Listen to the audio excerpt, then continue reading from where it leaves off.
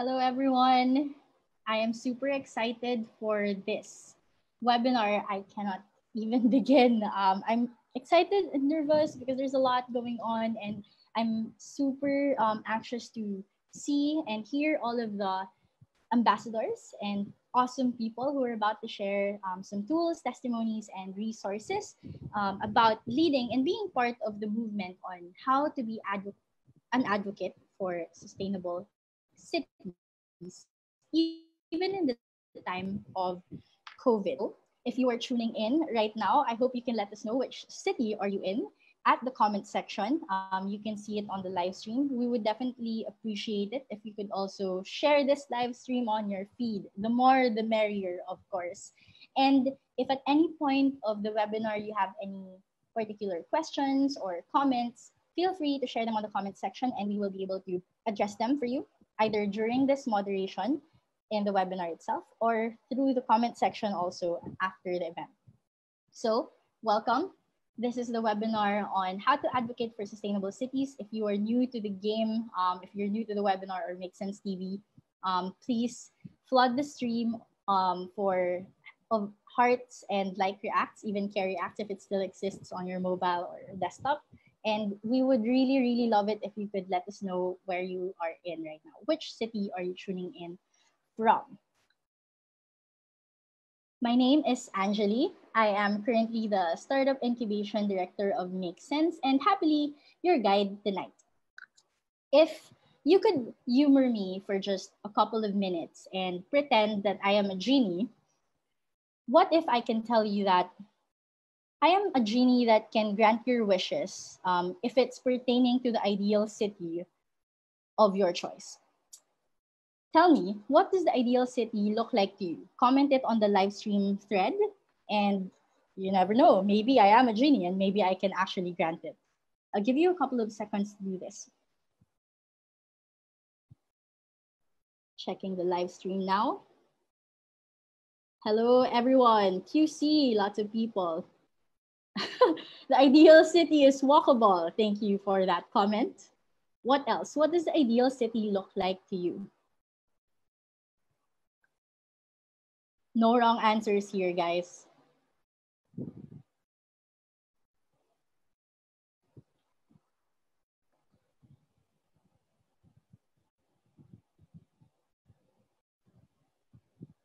Green, cyclable.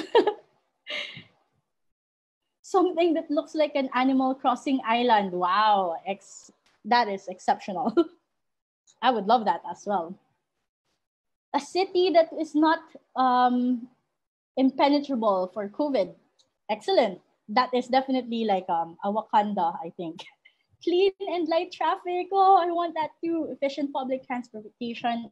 Oh my gosh. Keep them coming, guys. You never know. There might be a genie listening in on this thread or looking at your comments and we never know, it might come true. Keep, oh my gosh. no more homelessness, yes. Excellent. Thank you so much. Um, keep them coming. Um, I would definitely love to see what ideal city looks like to you. I mean, I think how the ideal city looks like depends on who you ask. If it was up to me entirely, I would say that the ideal city is one with green parks, obviously. Um, like a lot of you already said on the comment thread, something with benches and um, nice breathable air where I can just sit and read a book. Maybe a place where there is also an organic market, not just during Sundays or um, in well-off villages. if you ask my dad, uh, which I did a couple of days ago, he said that the ideal city is um, pretty much like um, a, the place that he grew up in, wherein there's not a lot of buildings, view of the mountain, you can feel the dirt, and you can say hi to your neighbors that you actually um, come across with. But if you ask people who are very much used to the urban jungle, um, if you ask real estate owners, for example, or um, people who are very used to the metro lifestyle, they will say that an ideal city is one that has very good and affordable condominium units, um, nice view to the city, you can see some greens and some blues, and um, of course, a lot of establishments that are very, very cool. Now, if you ask kids, um, they will say that, ah, there must be playgrounds. There should be um, places where they can run, meet new friends, and play with them, and also maybe a pool with big, uh, huge water slide or something. if you ask um, our fellow countrymen who live in the neighboring provinces who are very much near in the metro cities, and they're, for example, working in the metro cities for something that you've already said in the comment thread, which is uh, an accessible and the proper transportation system that can take them from their home to their workplace in the metro and then back to their home in a reasonable amount of time and cost. But if you ask our kababayan who has always lived um, with a wheelchair, for example, they might ask for roads that are smooth, that are wheelchair friendly, and maybe some ramps uh, that can make establishments accessible to them. And it's very different if you also ask um, our fellow countrymen who earn only 200 pesos income per day, for example. They wouldn't ask for water slides or green parks or organ- organic markets they will ask for something basic and i have to admit something that i usually take for granted which is access to basic needs such as water energy and decent housing that is within their financial reach how the ideal city looks like depends on who you ask and who we ask gets to be taken into consideration on how we build the cities now when you think about asking kids and the youth, much like yourself, um, about how to build the ideal city, it seems funny, but I have to tell you, there's a lot of wisdom in this. According to Mara Mintzer, um, a world renowned urban planner, um, in her TED talk, she said that the youth are the most inclusive designers. They design for everyone, from their grandparents to the homeless people they see on the streets. They're very empathic and very compassionate the youth, much like you or us, I, I, would like to count myself in the youth still. Um, we design for all living creatures, not just for cars, corporations, or egos. Just look at how our metro cities are like now. There's a huge difference, or at least a very visible difference, between the areas that are well off and the areas that are relatively poor. The Manila that we know, for example, um, has been built based on the objective of rapid economic growth above all else. You'll notice that free public services are available in areas that can afford it, um, the areas that can make money, which makes most of the poor areas an outsider for any quality public service. We have crazy traffic. It looks like a parking lot um, most of the time. We have bad pollution. We have um, really bad waste management systems um, in most areas. And all of this, if you combine them, result to an acceleration of climate change. The gap between those who can live in the rich parts of the city versus those who are forced to live outside it, outside it rather, is undeniable. Only magnified now that we are living through the pandemic of COVID crisis. Public services such as energy access, transportation or waste management are usually efficient in areas where there are people who can afford it, like the upper to middle class. But those who live um, in poor areas um, are basically having um, a very difficult time to access good services. And it makes them more vulnerable to this pandemic and other natural disasters as well we can see that we are living in cities that are not designed to value each and every member equally, sadly. Case in point, our frontliners. We know of our health workers, of course. We applaud them, we support them as much as we can because they deserve they deserve it, right? Like they save our lives if ever and whenever we are in trouble, um, especially in this COVID crisis. But how about our invisible frontliners? our kuyas who are collecting our garbage now that we are um, always at home, or the bank employees who keep the banks going so that we can have mon monetary transactions even if the COVID crisis on is ongoing. even the food delivery crew or the grocery store keepers, for example. Who takes care of them? The unsettling truth is that the invisible frontliners who help us stay safe and live a relatively comfortable life, they are often from the low income communities. They struggle the most with the sanitarian and humanitarian crisis. we talk about the new normal and at least for my immediate circle and i'm not saying that this is true for all but it usually connotes staying home working from home work um, with your laptop and baking sourdough bread for the first time posting it on instagram while we watch the news on our facebook feed because who watches the news on the tv nowadays we see and hear stories of our fellow countrymen walking miles and miles just for an opportunity to get a daily wage or financial aid. Or maybe even stories about how our modern day heroes and frontliners are struggling um, one way or another. This cannot be it. If this is the new normal, then we need to start working towards a better normal. And to do that, we have to get the basics done right. The basics done right.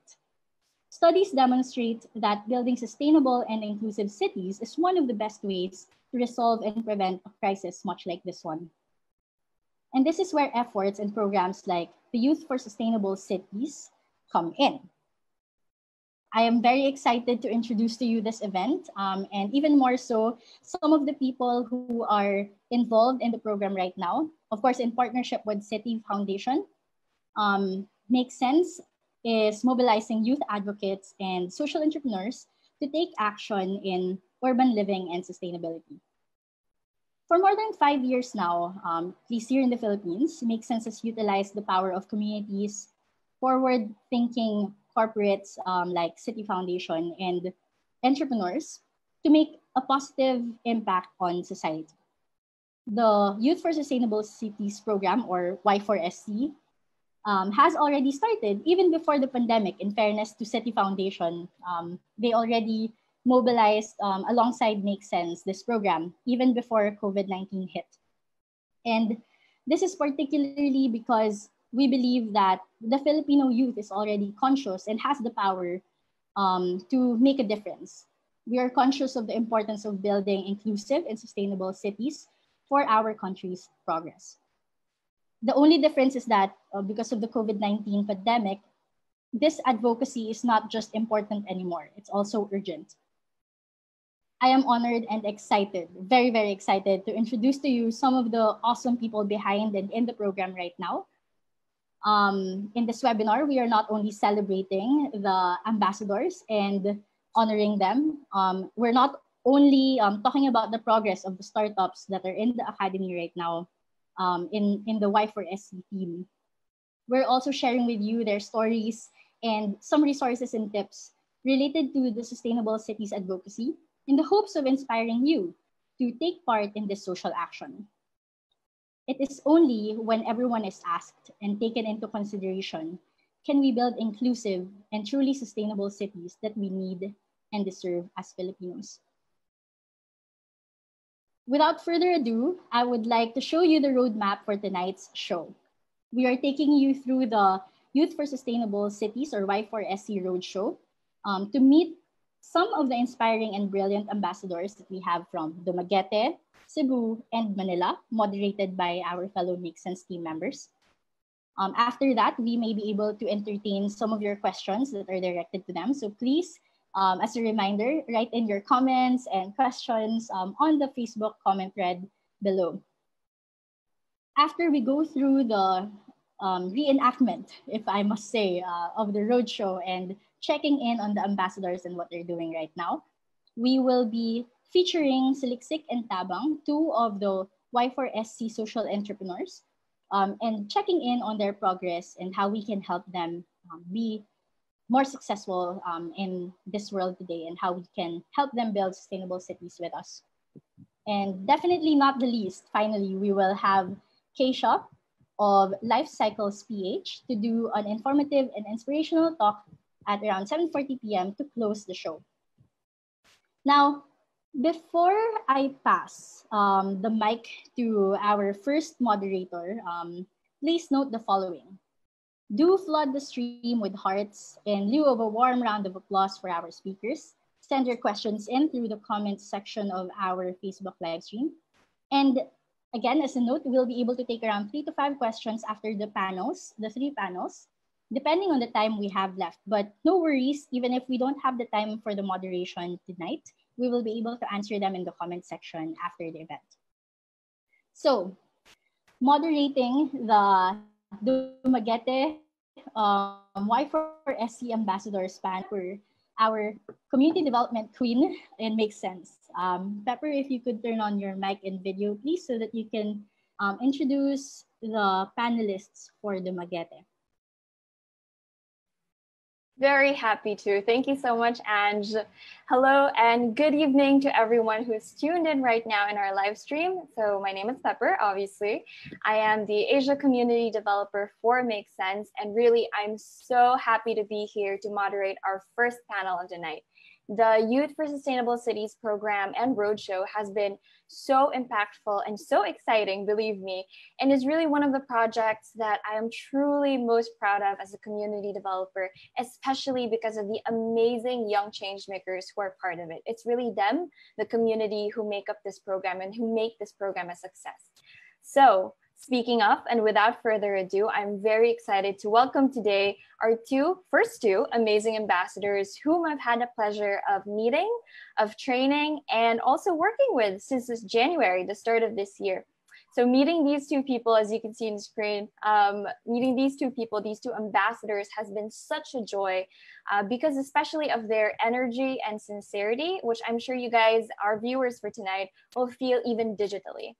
And for those of you guys who are tuned in from Dumaguete City, just like our two ambassadors for tonight, maayong gabi sa inyong tanan. Please do leave us any love reacts, heart reacts in the comments section. We'd be happy to see it uh, in lieu of the round of applause. So for today, as you can see here, we do have two people with us. We have Al Kaiser, who is an incoming senior studying civil engineering in Silliman University, while we also have Francis, who is a mass communication sophomore also studying in Silliman University. Both of these two young people have been such amazing and active ambassadors in the Youth for Sustainable Cities program since the start of the year. So, all right, welcome today, Francis and Al. Are you both feeling well? Are you excited? Mayang gabi, Pepper. Hi, Al. Good evening. Hi, Francis. All right. Good Thank evening. you, guys. Hi. Good evening. Mayang gabi.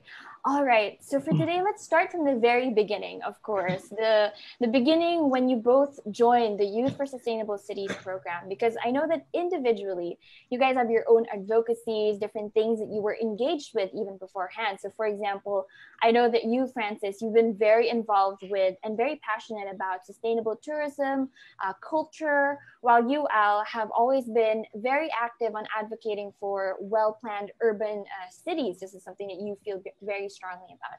So, knowing that you both have already been very active youth advocates beforehand, even before the program, what really interested you to be part of the program? Was it was it the trainings when you saw the post? Was it you know knowing that you would meet fellow change makers? Um, what was it that got you to join and say, "Hey, I want to be part of this community"? And maybe for this, we can start with Al. Okay, um, mayang gabi to everyone who are watching. So um, I joined the Y4SC program because um, for me, it was the best fit for my advocacy, which is building uh, sustainable cities and creating inclusive communities. Um, so yes, Pepper. Awesome. I'm glad to see that. I'm glad to hear that it really was a best fit. And I hope you still share that sentiment to this day, months after. And how about you, Francis? What got you into the program? well, actually, good evening, everyone. Um, even though I have many reasons in mind, but what I think for as of the moment, because before I was just actually invited with my organization, organization the New Ground Events and the Gaban Youth And they told me, oh, why don't we have to try this one? And then I tried it and I was amazed with everything that the Mixing is offering. And then I connected it to my advocacy, which is focused on the journalism and tourism. And then later on, I realized that the stories really matter. So far, that's right. Thank you so much for sharing. I think you both share the same sentiment, even if you have different advocacies, that it is something very related or very connected to what you guys were doing beforehand. And it was the best fit, as Al puts it. So thanks for that. I'm yes. very happy to, that you guys joined and that I got to meet you guys. Really, it was a joy. um, so now, all of these things that happen in Youth for Sustainable Cities the roadshow, the training, mm-hmm. the many events that we organized, these all happened earlier this year, actually, from January to March, right? We were doing it together. It was so much fun. But obviously, a lot has happened since then, in just a couple months in between, right? Especially once the COVID crisis hit. And I know that this is not just between us. I mean, all organizations are feeling this and all mm-hmm. advocates are. So I guess um, my, my next question for you both would be what would uh, you say has changed in your both your hmm. personal lives but also as youth advocates yourself you both are very active in this field in this ecosystem so when the covid crisis hit what were some things that you felt you know were there a lot of events or programs that stopped did change making become change making become more difficult for example uh, francis let's start with you this time yeah, okay. Well, to be honest, Miss Pepper, there's really a lot of changes happened since the COVID crisis um, hit. So from the personal life stories of mine, supposed routines, my travels and activities, and even my works. Like actually, I go to far-flung places or communities just to visit communities. Then, however, I really try to make things out during this pandemic. I made my time and activities the same time on what I used to do before before this COVID-19. Even though how much I tried to fight and make worth of everything I do, it was totally different from what we call the new normal. And to count in maybe, I tend to get down more on uh, the simple things of all the details of everything I see or notice.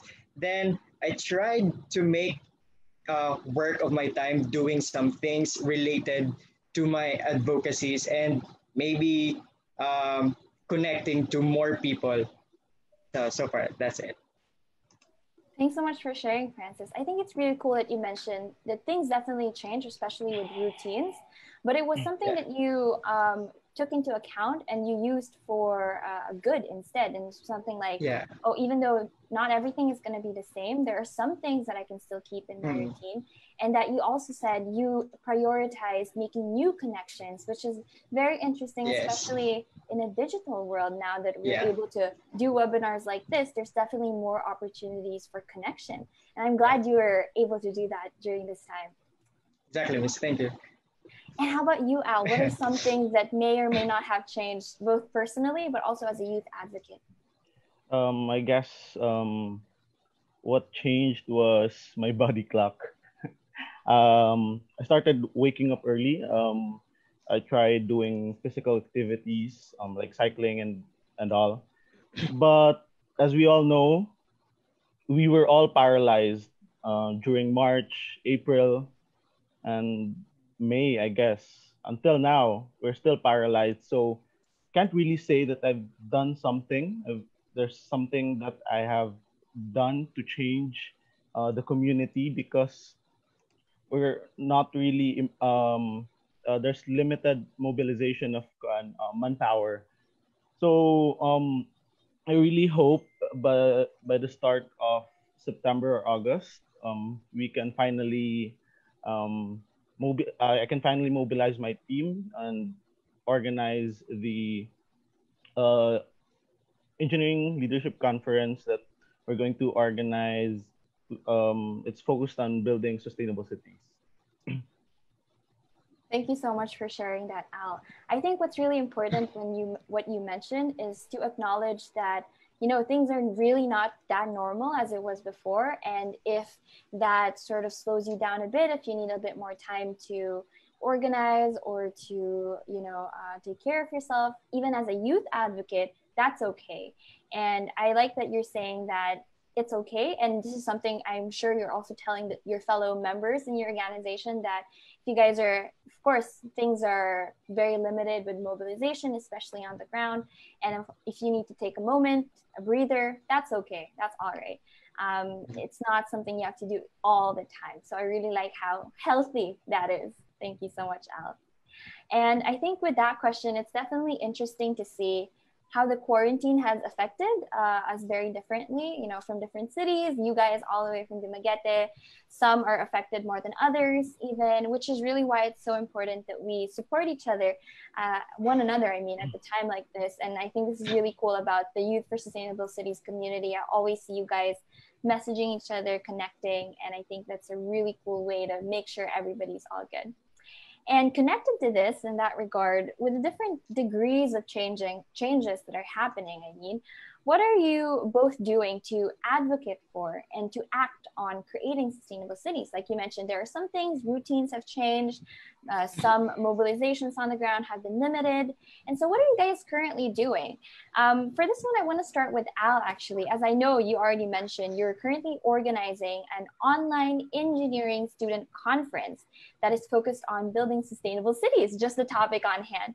So, tell us a little bit about that, Al. What is the program going to be about? What, when is it happening, and who can join this event? Um, as of now, um, our target audience will be um, engineering students from Silliman University and hopefully uh, students from the Negros Island. Um, the event um, is focused on um, transforming um, future engineering professionals, um, equipping them with the right tools, the right mindset to become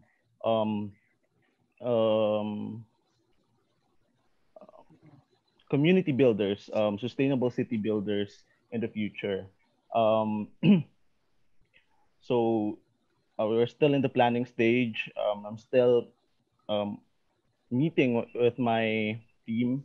So it's really hard because we, we all know it's really hard to connect with people, to communicate with people, especially uh, especially that everyone is not um, does not doesn't have um, strong strong connection, internet connection. So it's my challenge and it's everyone's challenge and i'm up for the challenge. Yes i'm up for the challenge and hopefully by september we're going to launch it and uh, we'll inform you guys yes that's super awesome that's so cool i think um, that that's very exciting and is this the first time you guys are doing a digital event, a digital online conference for your organization? Yes, it's the first time uh, we're adjusting to the new normal. So, yes. Cool.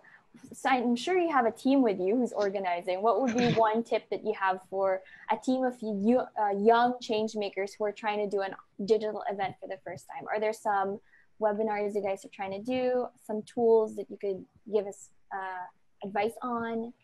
Um, I think the only advice that I can give is to um, think of a cause that um, they are really passionate about.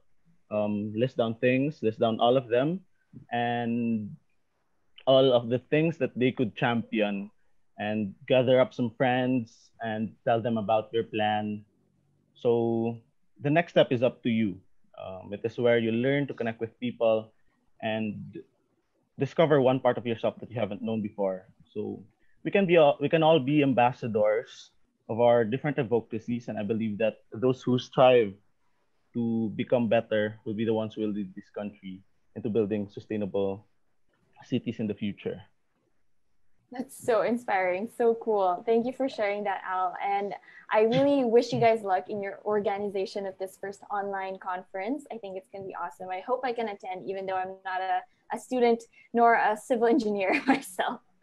Um, and moving on to you, Francis, how about you? I know you're busy with uh, a lot of things. You were telling me like you were still writing, you were still you're doing a lot of photography. I see that. Super cool pictures. You guys should follow francis online. Um, but what are some things that are keeping you very active? What are the things you're working on specifically? Can you tell us a bit about the projects maybe some articles that you're doing um, especially on the topic of maybe sustainable cities or your personal advocacies Well, to be honest, Miss Pepper, well, this is my favorite during the quarantine since when I went home from Dumaguete City that we were told to go before everything went on lockdown. Then I was in home quarantine like for almost, let's say, three months or two months, and then doing less productive and then just stuck in my room, just sitting, thinking of what I should have to do. Then I said to myself, um, I should not remain stagnant. And then I wanted to get involved still in the community and our social issues or discussions about the rising conflicts, what's happening in the Philippines or even in the world. So, so far, I have joined and attended multiple webinars, accepted offers of writing from my friends or from, uh, let's say, national, uh, national affiliations and more press related works still on the uh, local and then national works. And then I had some projects with the local and my international affiliations or the organizations I am into right now. Then definitely it's more on the stories of people in times of crisis brought by COVID-19. And then as of time, I'm currently working on a documentary uh, for a national media. And then I'm still focusing on how sustainable city uh, could help uh, could be linked onto that documentary. So maybe I'm focusing on supporting our local farmers or the, how they're going to cope up on the crisis of the COVID-19. And then I have this one another org that we're still working on the bridging of communities through journalism, through informing what's really happening during this time, especially in COVID-19. And then we, uh, with the going, uh, uh, even though we are um, experiencing right this at this moment, we still have the hope that we could make actions for maintaining what could be a sustainable city in times of crisis. So far, those were the things I'm doing right now. I love how you ended it with so far that's all the things I'm doing. Like you didn't just list so many things you were already doing. This is what I love about you, Francis. You have so much energy about a lot of things, especially with impact making. I do have a follow up with that. And um, before I ask you a question, we really want to yes, see that documentary. Please do share it with us. We'd love to do yes, a watch party. Um, but to to add to this, I was just wondering. You know, I always see you're so active. Whenever I talk to you, you're so jolly, energetic always doing a lot of things. Even when we were there in Dumaguete, you were touring me around, doing so many different organizational stuff. Um, now that it's the quarantine, and this is a question I just wanted to mm. ask a little bit of input for you. Do you ever feel, um, you know, that there are days where you're kind of down, where you're kind of like, I don't want to be a mm. change maker today. I kind of want to take a rest. And if mm. so, if you do feel that, like, do you allow yourself? And what are some tips for people who are watching that are youth mm. changers themselves? But sometimes, you know, when you wake up in the morning, you're just kind of like, I don't really feel like doing anything today. Do you get that, Francis, or you're just too yes, perfect? Yes, I get it. no, well, actually, it's almost every other day. I usually feel that feeling, let's say like that, and then I just torn between where do I start or how I'm going to end it. Like it start as how do I see myself, how I'm going to do those things, or to look at the end that it's about the nation, it's about the community, it's it's about yourself and the community. Then it's more on how do we see ourselves maintaining and coping up. So so far, I'm just referring to the starting point, which I understand the needs of myself in order to adjust on how I'm going to connect myself to the community. So basically, so far my coping mechanisms are just eating, traveling, talking, something like that. No, it depends upon the uh, coping mechanisms of individual. Definitely, I totally agree. Um, and I think eating and maybe just talking to other people, making sure you're connected to others is very important for sure. Yeah. I think that the main thing and that's the most effective for me. and that's the most that's the one thing i was going to mention is that i think the main thing you mentioned is that you know yourself well which is yes. very important if you know yourself and you know your needs like you said then you know when to hmm. take a break you know how to regulate yes. your own schedule awesome oh. thank you so much for that advice. thank you so much miss and just to end this panel, I know we could ask so many things. If you have any questions for Francis or for Al, put them in the chat box in the live stream. We'd be happy to ask ask them later on. But just to end on a really positive note from the two of them, you both are so very inspiring to me. So why don't you also inspire our audience for tonight as well? What are some tips on how you can become hmm. advocates for sustainable cities as well? I know Al, you already mentioned some. Maybe you have any other tips on mind, you know, uh, joining your event maybe? How can they become youth uh, change makers just like you guys? If you want, Francis, you can go ahead. Okay. Serious. Um, I actually always put this in mind that we could not achieve a sustainable development without significantly transforming our means of creating our own spaces and for the spaces of everybody in the community. So making cities sustainable means creating opportunities, sustainable and resilient societies and economies. And we have to be inclusive. And there's really more than those thoughts that we are considering right now. It's very, very vast. We have to learn the cycle of life and our living. That is why, uh, I know to say it as Youth for Sustainable City Ambassador, I value the stories of people in our communities to be heard across to build and bridge communities that are aware or educated to help build a progressive community, which we always say a sustainable city. Thank you. I could have not said it better than you, Francis. Really, listen to the people, be as inclusive as possible, and listen to their yes. stories. Thank you so much for joining us. Al, do you have any additional tips for us? I know you already mentioned earlier that it really is important to know your cause and know what you're fighting for. Any additional tips?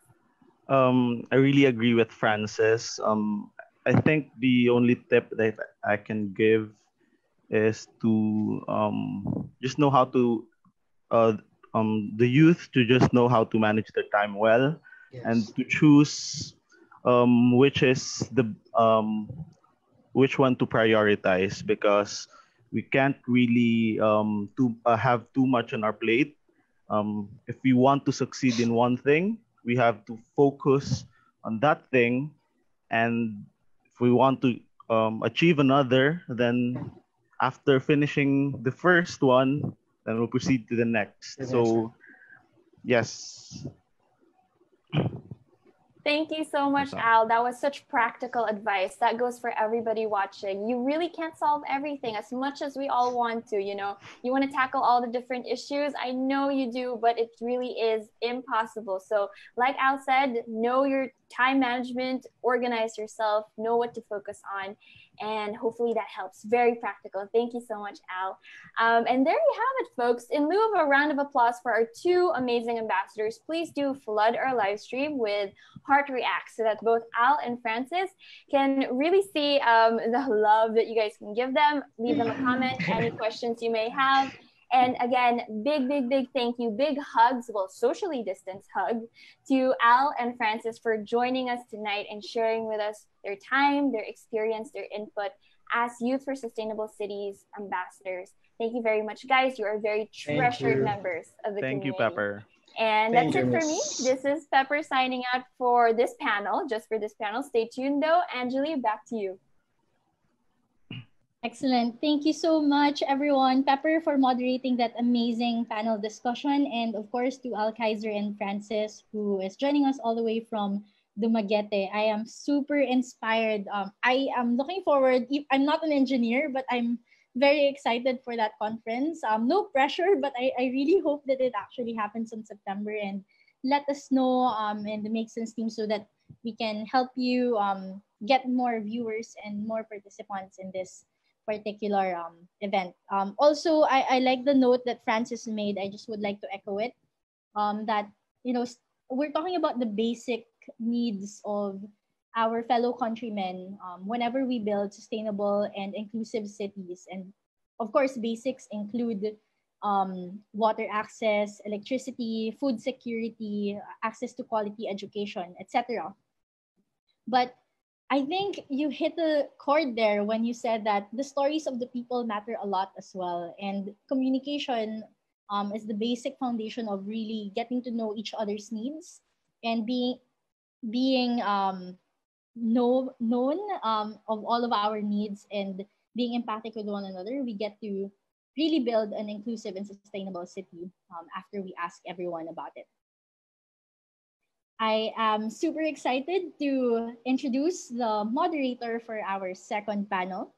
Um, we're not done yet. We're far from it, actually. And everyone, thank you for tuning in. If you are new to the um, webinar, please do um, let us know which city are you tuning in from by commenting on the live stream thread.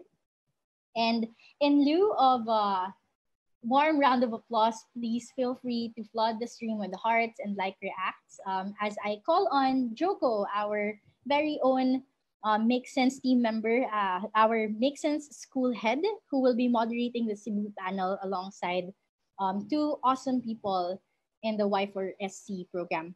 Um, Joko, if you could turn on your mic and video, please, so that you can introduce our panelists. All right. Thank you so much, Anjali. Um, so thanks for the introduction. Once again, my name is Joko, and I'm going to be joined today by Al and Belle from Cebu. So actually, uh, daghan na gitang mga Bisaya sa Make Sense. Al, Belle, are you here in the call? Um, can you let me know if you're here by turning on your microphones? Hi, sir. Yes, sir. Hi, sir. All right, perfect. So um, I have a confession to make. Uh, to be honest, I've never worked with Al or Belle in the past. Um, I didn't get to join the roadshow in Dumaguete, Cebu, and Manila. And so I'm pretty curious um, coming into this panel discussion. What made the two of you join our Youth for Sustainable Cities program? So um, maybe we can hear from Belle first and then Al after. Uh, okay, so good evening, everyone. Uh, why I joined Youth for Sustainable City is that uh, being a child rights advocate for the past few years in our community, I have seen and encountered that a lot of our children are dealing with violence, suffering by uh, different kinds of abuses like physical, mental, emotional abuses, and some of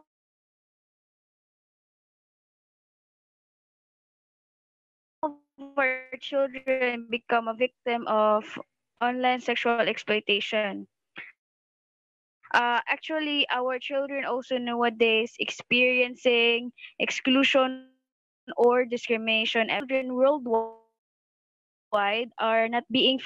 So I Y4SC is a great way to help me to become more equipped and confident on chasing my dreams that I could children and create an impact uh, lastly, joining the Youth for Sustainable City makes me wonder that uh, maybe this program is a great tool that I could share my passion on being a child rights advocate to everyone and we can land hand in hand on helping our children to be fully protected because I believe that the best way to protect our children is to prepare them, to educate and empower them so that they can survive, grow, learn, and develop their fullest potential and continue in making our community as sustainable for living. I guess that's all. I guess that's too long answer, sir. no worries, no worries. It was perfect. Um, so very inspiring reasons for joining actually. So basically you're building sustainable cities through education. You're through education you're you know bringing down inequalities bringing down social injustices. Yeah. so thank you so much for that. Um, so now i'd like to hear from al. Um, so al why did you join our youth for sustainable cities program? Good evening magandang gabi mayong gabi sa tanan. So why i joined Y4SC program? Because i am advocating for green engineering and that is so unpopular kind of advocacy I am a civil engineer, and when you experience a large developments, large projects, you see bulk of construction materials like steel, gravel, sand, cement, and water, and all these types of resources are all non-renewable.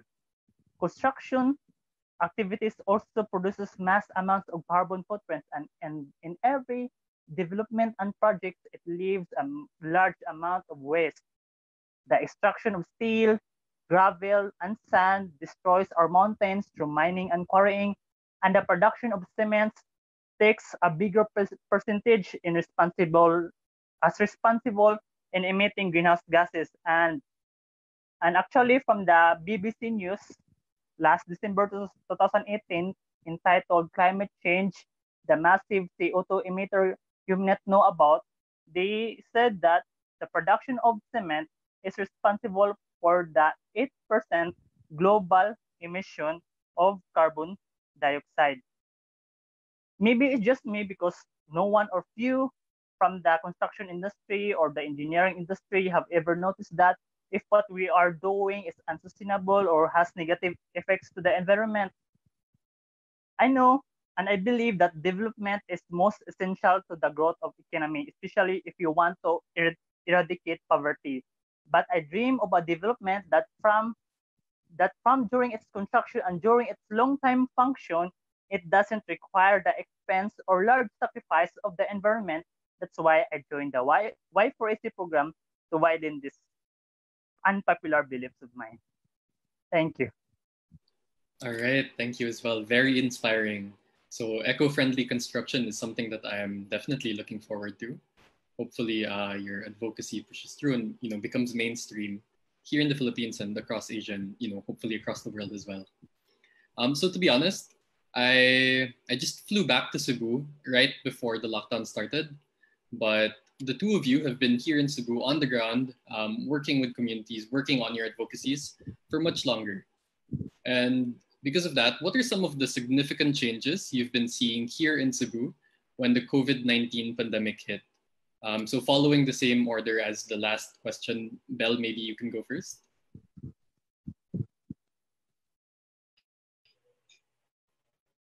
So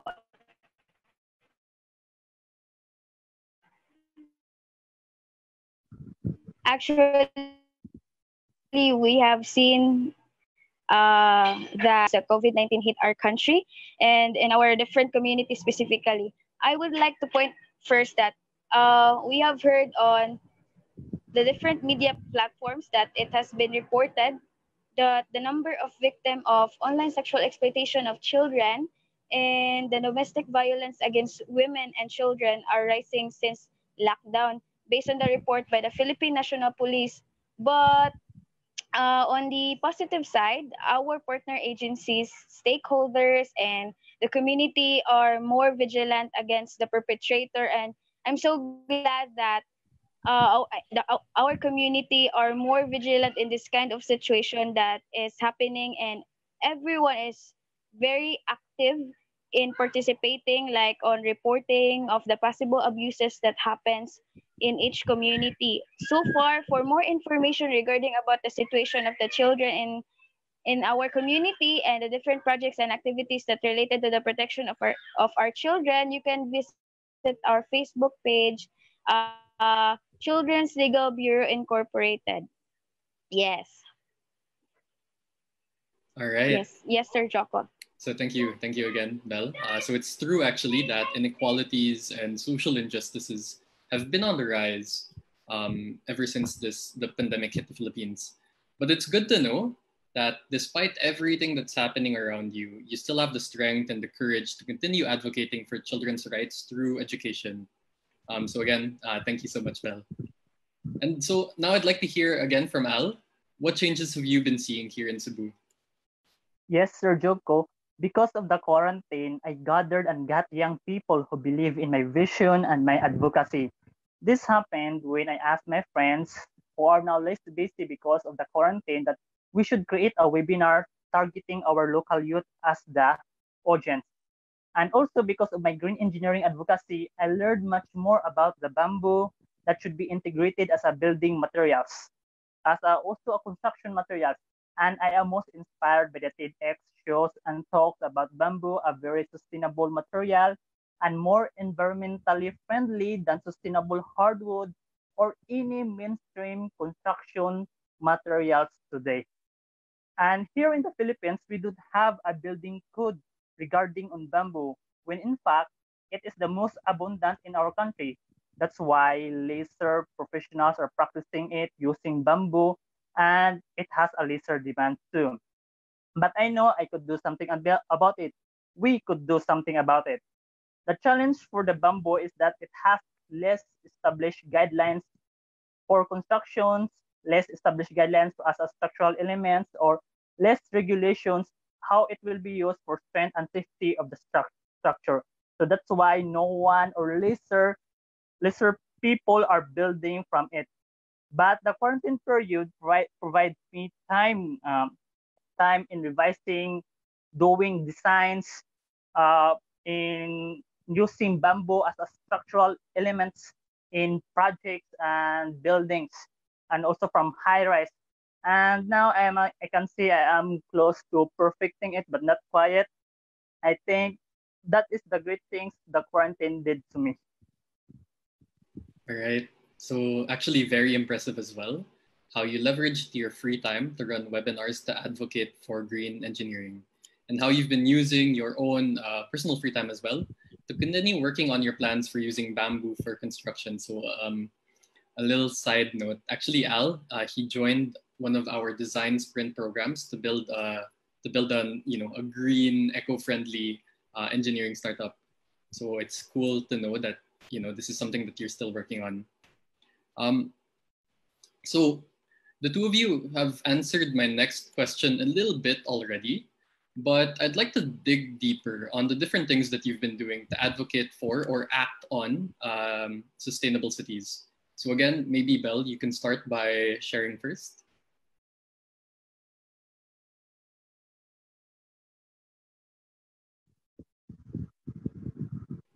Hello, Belle. Naapa ka? Oh, Are you still there? maybe Bell loses her connection, sir. All right, no worries. Um, in the meantime, while we're waiting for Belle to reconnect, um, Al, are you okay with going going first? So yes, sir. So going back to the webinar we created with my friends, we found because of that we founded a commu- community of young people who are driven for social and environmental change. And currently, I, I am acting as the director of the small local community, and we launched our FB page called Laraw sa Isla. Laraw is a Bisaya word means design or plants, and Isla is a Bisaya for island. So Laraw sa Isla means your plans or vision for the island.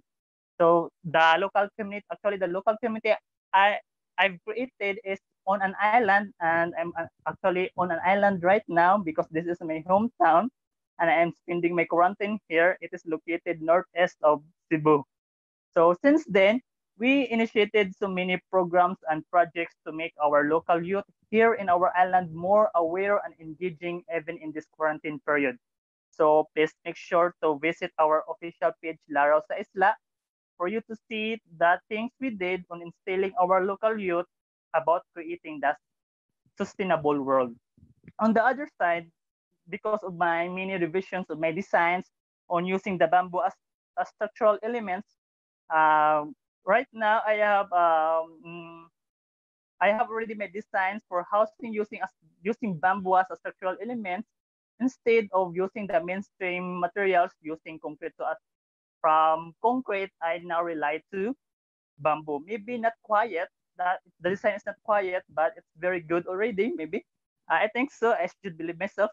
And I will ask my friends again to help me for the launching, promotion, and advertisement of it because uh, that's it. And to be honest, I am still not too confident with my design, but I, I, but I know it will turn out okay. And also, I provide an all online tutorial to some of the same students or senior high school students who are aspiring to become also a civil engineer like me. And with that, I, with that, their quality of learning will not be thwarted because of the COVID-19. And on that way too, I can instill the younger generation that they should practice on a sustainable engineering application that weren't taught in schools. Thank you, Sir Joko. All right. Wow. Super impressive. I, I was really happy hearing all of the stuff that you're, you're doing um, here in Cebu. Um, so actually, you And- sounded pretty and- confident. And also, I am planning to expand my online tutorial because I only have few students. Maybe can expand it more and teach more more aspiring civil engineers. And yeah, like that. yeah, definitely. Also, very impressive how you're using your background in engineering to tutor students in your community. Um, so I'm definitely going to like your Facebook page, uh, Laraw sa Isla. And. I'm really looking forward to uh, seeing your your bamboo housing designs one of these days. Um, I'm definitely going to be one of those people as well that you know shares your posts and you know um, gets the word out Thank that you're that Thank you're you. that you're releasing these designs. Um, but yeah, again, thank you thank you very much for for sharing. So I think Bell is having a hard time connecting to our Zoom. So I'll maybe the two of us can move on to our last uh, question for this panel discussion. So uh, you and Bell, you've shared in through the previous questions, um, you've inspired our audience on how you've been, you know, acting towards more sustainable cities. And so for, for my last question, I'd like to ask, what tips do you have um, for advocating for more sustainable cities? So, uh, bamboo, uh, we know it, it is often thought as a poor man's house. When you see bamboo, maybe it's just a house from for the poor only. And the term payag, which is a Bisaya word, and kubo, kobo, which is a Tagalog word, often used only for low-rise and non-elegant housing, and also often associated as a weak type structures and you know wouldn't last long. But to all to all our engineers, architects, we can change that kind of view.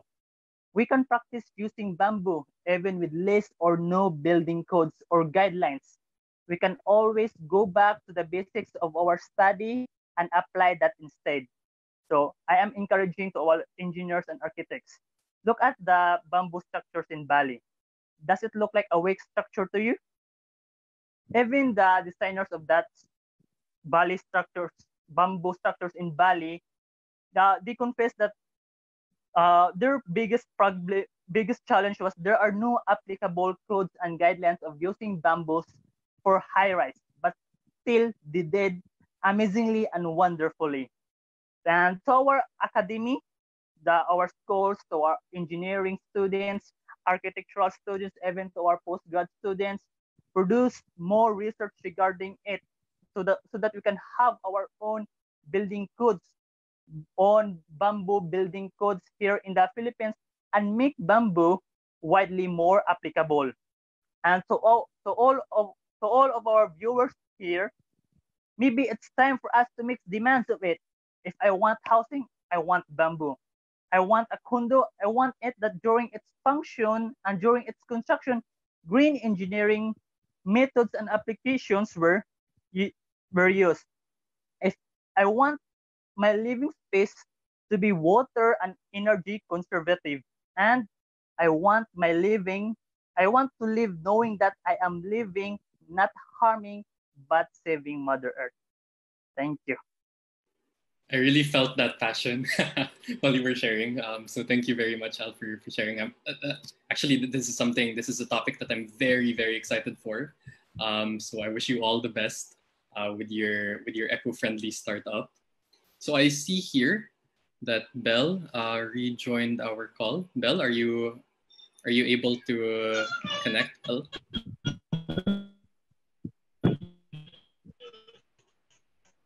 Hello, Bell.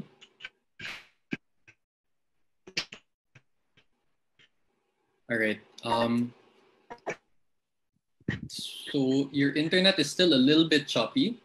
Um, so my suggestion na lang moving forward is, uh, so I have two questions. Yes,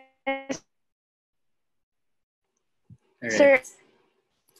Uh, very.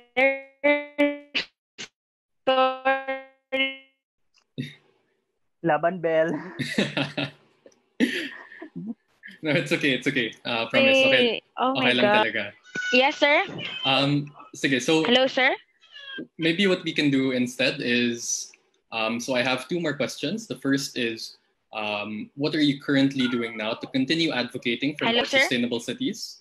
Uh, the second question is um, what tips do you have for our audience to allow them to advocate for more sustainable cities as well? Maybe you can uh, give your answers to those two questions Sure. in the comment section of our live stream. Um, I can type the instructions as well in, in our Zoom chat. But yeah, don't, don't worry, no worries about your internet. Um, we're flexible like that. All right. So um, with that said, uh, I'll be ending our panel discussion for our Cebu ambassadors. Again, thank you so much, Al, and thank you so much, Belle, uh, for joining our Youth for Sustainable Cities program. And thank you so much for sharing your Welcome, advocacies, Joko. for giving tips to our audience. Um, Thank you for inviting also. Um, so yeah, if you so now to our audience, if you have any questions for Al or Bell, uh, you know the drill. Please share them in our comment section. And before we we leave this Zoom call, I would love it if you could flood our our Facebook live stream with likes, heart reacts, care reacts, whatever reacts you can you can flood it with. Uh, please flood it now in lieu of an applause. So I'll be muting myself now and I'll be handing over the metaphorical mic back to Anjali. Excellent. Thank you so much, Joko, and props to you for moderating this panel. Um, I am sad, Belle. Um, it's okay, but we we would love to hear um, about your efforts and your experience as a Y4SC ambassador. Um, moving forward in the comment section, so watch out for Belle and of course all of our other speakers and panelists. They might be interacting in the Facebook thread right now. So send in your questions and comments there, and we might be able to um, give you some time for a Q&A after the three panels, which is um, after the Manila panel that I'm about to introduce right now. Um, let me just echo that um, both quality education and affordable housing are amazing um, advocacies. You know, like it's it seems very basic, but really it's something that we need to figure out. And the truth of the matter is that we really need to be able to provide this to our fellow countrymen. So I want to introduce Andy um, so that she can formally introduce our panelists um, from our Manila Y4SC ambassadors.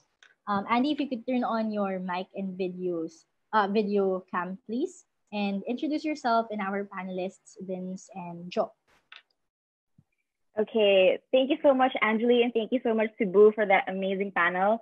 Um, we are finally here at the last, but definitely not the last stop of uh, the program at Manila. Um, so good evening, everybody who's watching. My name is Andy. I'm the Communications Director of Make Sense Philippines, and I also co-led the program with Pepper um, a few months back. Um, it's really funny because I just realized I'm wearing the exact same shirt that I wore in, in one of the trainings, so it feels right. Um, but anyway, I am incredibly happy for this opportunity to speak again with the two ambassadors out of the 19 uh, that we met in Manila. Um, the last time that I met with them in, in the same room was February, which feels like a lifetime ago. But anyway, we are here and I'm so honored to be able to uh, share with you all of the amazing things that they've been doing since then what really struck me about the Manila ambassadors that we met was just how diverse uh, everyone was. So um, just imagine we had um, everyone from an engineering student to uh, the CEO of fashion social enterprise to the UN rep to the Vatican, you know, just everyone coming from different uh, sectors in our humble Makati office to be able to discuss ways that we can better um, our cities was really inspiring to me. And it's also the same thing that I feel about the two ambassadors that we have for you today. So uh, without further ado, please, please let me introduce to you uh, the two guests that we have today, Jo and Vince. Jo is currently the new business development manager of the Cultural Center of the Philippines, working on developing and sustaining digital projects that democratize access to Philippine arts. Uh, most recently, she started interning at Make Sense's social innovation program, and her main advocacies are inclusive development, including how culture and the arts can uplift communities and strengthen placemaking. She's also passionate about bridging arts and tech to address and amplify underserved narratives. Uh, aside from this, she is also a volunteer teacher at uh, of Bakwit School, teaching entrepreneurship to indigenous children displaced from their communities. So, Josh, thank you so much for, for joining us tonight. Uh, we also have with us Vince, who is currently taking his master's uh, in urban plan, urban and regional planning at the University of the Philippines School of Urban and Regional Planning. Besides his involvement with Make Sense as Manila ambassador, of course, for the Y4SC program, he has extensive volunteer work with other organizations. most recently being a AltMobility PH volunteer researcher for commuter rights, uh, active mobility, and sustainable transportation. At the same time, he is also an active member and certified trainer of World Youth Alliance, where he has completed internship programs in the Asia Pacific and Europe offices and represented WYA in conferences held at the UN nations uh, and the European Parliament. At the heart of his volunteer involvement is his advocacy to promote the importance of human dignity at the core of city planning policies. He is interested in learning about urban economics, urban design, and behavioral economics. Ooh, that was a mouthful. Um, it just goes to show how amazing these two guests that we have for you tonight. Um, and without further ado, let's just get right onto it. So, uh, hello, Vince, and hello, Jo. Um, I'm very curious, what made you join the Y for SC program? Maybe we could start with Jo. Sure. So, uh, thank uh, hi everyone, thank you, Andy, for introducing me. Like Andy said, I am an inclusive development activist, and I've been one for five years now, which essentially means that I advocate for development for all. And my biggest frustration, I guess, with the current state of uh, sustainable urban development is that innovators are leading the movement. And by innovators, I mean the scientists, the techies, the visionaries. I mean, it's not necessarily a bad thing, so don't take me wrong about that. But I believe that to truly create livable cities, we should be looking at our maintainers, our daily wage earners, teachers, artists, and activists whose labor actually sustains society. After all, a big part of building sustainable cities is to actually have citizens who actually want to sustain these cities. Of course, as a cultural worker, my approach to this issue is through the arts because I feel like it's so an, it's such an underutilized approach to urban development. I mean, if we look at it at the global scales, most leading urban cities are actually major cultural hubs and art centers. And this is why I joined the Y for SC program because I wanted to mainstream and elevate uh, creative placemaking in the Philippines. Creative placemaking is essentially uh, using arts and cultural based strategies in community development and urban planning. So I also wanted to meet uh, fellow advocates from other disciplines who I could learn from and collaborate with in Manila is so diverse. So I'm glad Y4SC was able to afford me the opportunity to do that. Yes, thank you so much, Jo.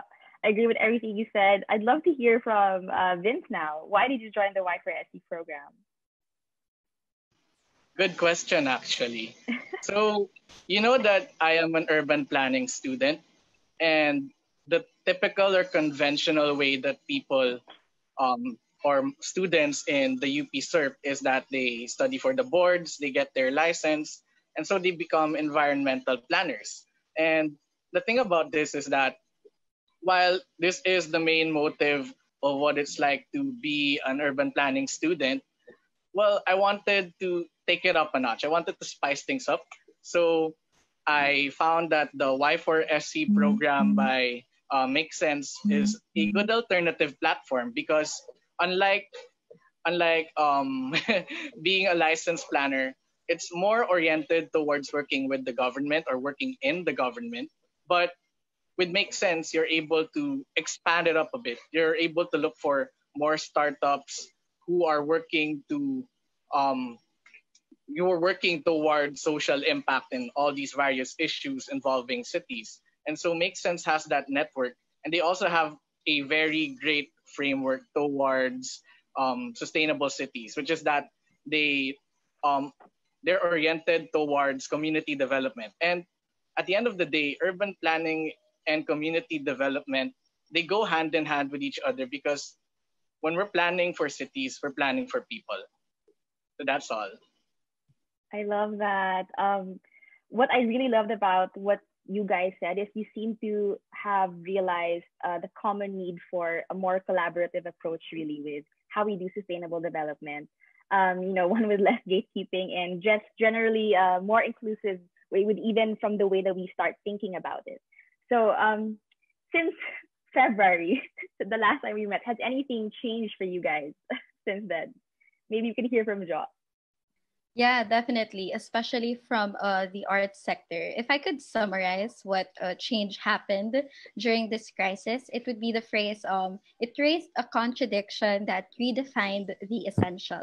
it's pretty loaded, but essentially, we can look at it at uh, unpack it at two parts. So, at one part, we can see that the art sector is uh, heavily negatively impacted from the pandemic. We're seeing budget cuts and a, a, massive loss of livelihoods because the arts is a very experiential experience where uh, a lot of freelancers and employed cultural workers lost their livelihoods. But at the same time, on the other part, we're also seeing people seek the arts at an unprecedented level. I mean, let's look at Italy as an example. When the virus broke out and peaked in Italy, people didn't rush to banks or seek help from the military. They went to their balconies and sang to be with each other. They used art to connect and amplify their voices. And in a world of physical distancing and community quarantine, art is comfort and art is also strength. It responds where laws fail. So uh, an example of this, I'm going to use a urban development perspective. I think uh, last month, or it was uh, April or May, maybe, we saw biking advocates paint the roads with biking symbols, and they like, I see Vince cheering, and uh, they basically uh, tried to bike the stretch of EDSA just to prove that it's completely possible to bike uh, as a main mode of transportation. That's performance art in practice in itself. And people are beginning to see, I guess, that culture and art is really essential and indispensable. And I hope we could really build on that with, with uh, urban development in the future. So that's it for me. Thank you so much, Jo. Um, I totally relate. I feel like the arts has really kept me going through this crazy time. So thank you so much for touching on that. Um, I'd love to hear from Vince next. Um, with regard to has anything changed since COVID 19? so many things have changed actually. A lot of plans got canceled. Well, for one, with the Y4SC program during the roadshow, remember that we had to choose between the relevant issues in Metro Manila. And I ended up in housing instead of transportation. But I was supposed to work with my co ambassadors in Manila, and we were supposed to help um, organize workshops and brainstorming sessions with all these organizations who are heavily involved with the urban poor because they suffer from the issue of security of tenure, the, the issue of it. And right now, um, while I'm not working with my co-ambassadors for that. I'm still working toward affordable housing, but this time it's under a different program by Make Sense. So I'll talk more about that later. But outside of Make Sense, um, so many things, especially as a student. So this semester or last semester, since the semester ended, last semester was supposed to be when where I was supposed to take my classes, the very, very technical, jargon heavy classes on planning. So there were a lot of technical skills that I was supposed to pick up um, in UP SURP, but because the classes were canceled, a lot of the opportunities for us to learn um, also got canceled. So if you want to know what technical skills I'm talking about, we're talking about collecting traffic data on the site. We're talking about conducting um, hazard and risk assessment workshops. And I was supposed to conduct a transport transportation planning workshop with Bataan for my class. And I was supposed to conduct a hazard and risk assessment workshop with Taytay. And we can't obviously do that because mass gatherings are not allowed.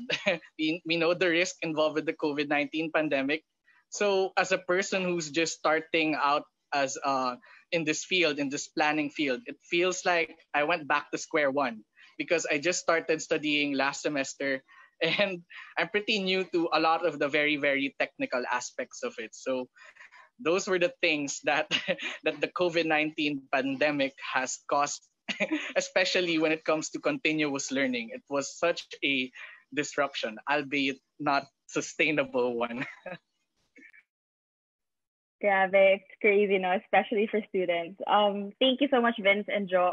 what I really love about what you guys uh, have been doing, continue to do, is really, you know, despite the pandemic, you have intensified actually what you guys uh, have been doing. And I feel that for a lot of people who are tuning in right now, you know, they share your advocacies, um, but either they feel a sense of, you know, volunteer fatigue or maybe learned helplessness with everything that's going on. I'm sure that they would love to hear, you know, like, paano ba talaga? Like, concrete ways that you guys have been doing so far to advocate for a sustainable city so far. So I would love if you guys can touch a little bit on the many things that you guys have been doing. Um, so we can start with Jo again. of course. Thank you, Andy. So, um, actually, recently I've been doing a couple of things outside of work. So, uh, the first one is that I'm still volunteering for Alumad Bakwit School. It's a makeshift school for uh, indigenous children from Mindanao who are displaced from their communities. And actually, we have a call for volunteers. Is it okay if you share that, Andy, or is that going to be later? Pa? Uh, we can share it now as well. Okay, great. So um, if you're um, if you're a writer, a graphic designer, or a researcher, and you're interested, or you're already an existing uh, indigenous rights uh, advocate, please join us. We need a lot of help. So just sign up at the link that's flashed on the screen right now. Thank you very much, Andy.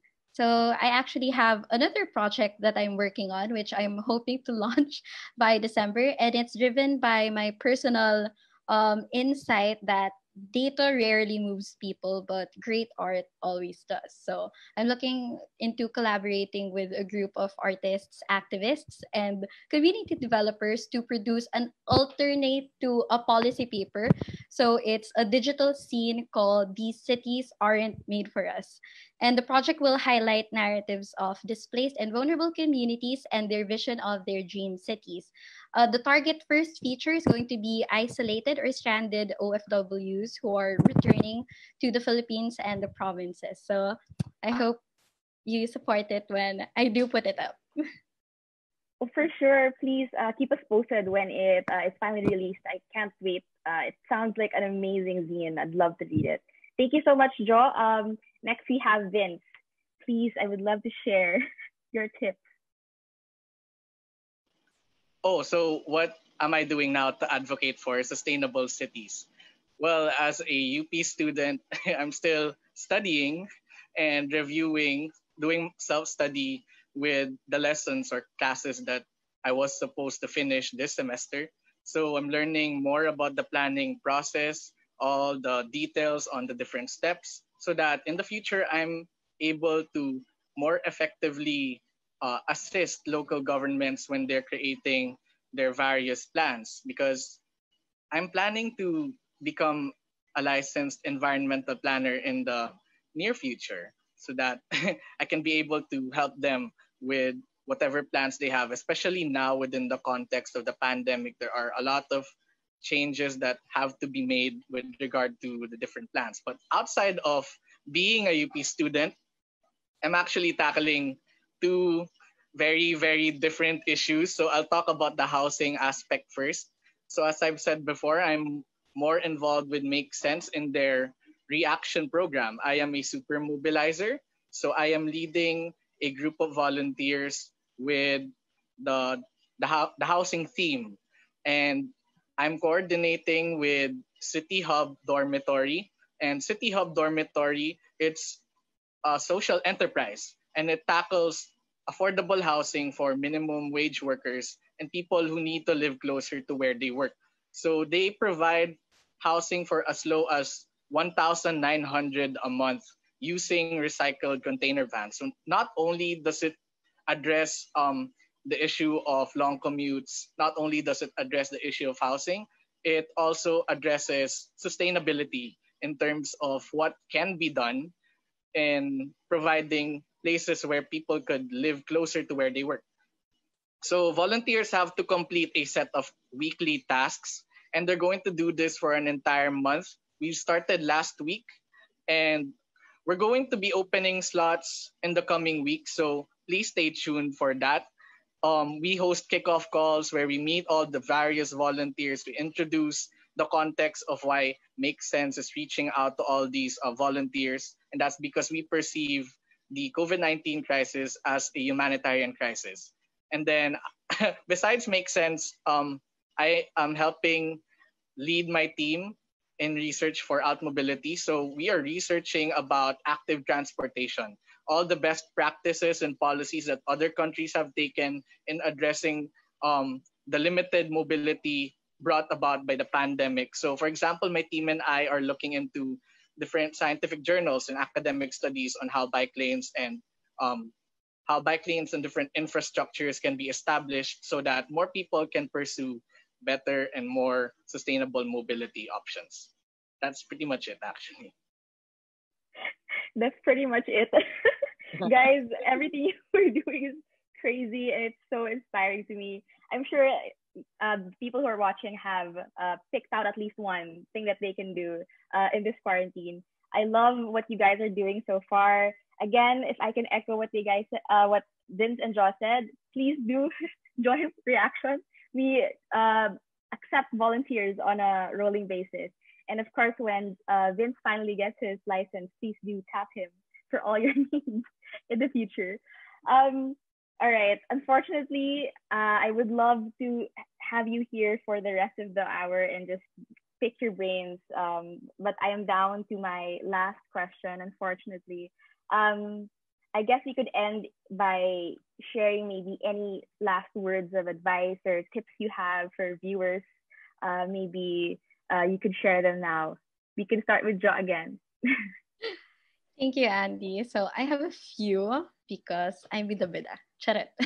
so the first one is obviously to please support our local artists. The best way to support our artists is to pay for their work exposure is not payment for artists' work. And uh, I'm just gonna plug it right now that in CCP we have CCP Online and we still have Virgin Lab Festival, which is a series of plays only for 100 pesos.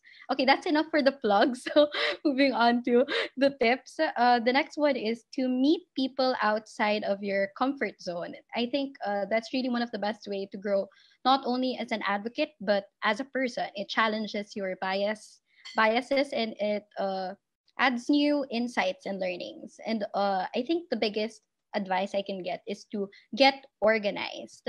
One of the main reasons we get advocate fatigue, that's how I'd like to call it, is because we feel overwhelmed or feel like we're alone. But it's important to be surrounded by people who are also struggling with you. And it's also important to remember that small acts make a difference, but only when you're doing it with other people. And if all else fails, just ask yourself, lagit lagi, para kanino? Or in English, for who am I doing this for? Always ask yourself that whenever you get tired. So I'm just gonna uh, I'm gonna take a page from Vince's Vince's urban development book. it's from my favorite radical urbanist David Harvey, who said that only when it is understood that those who build and sustain urban lives have a primary claim to that which they have produced and that one of their claims is to the inalienable right to make a city more after their own heart's desire, will we arrive at the politics of the urban that will make sense? Thank you. Makes sense. Facts. Makes Fact. sense.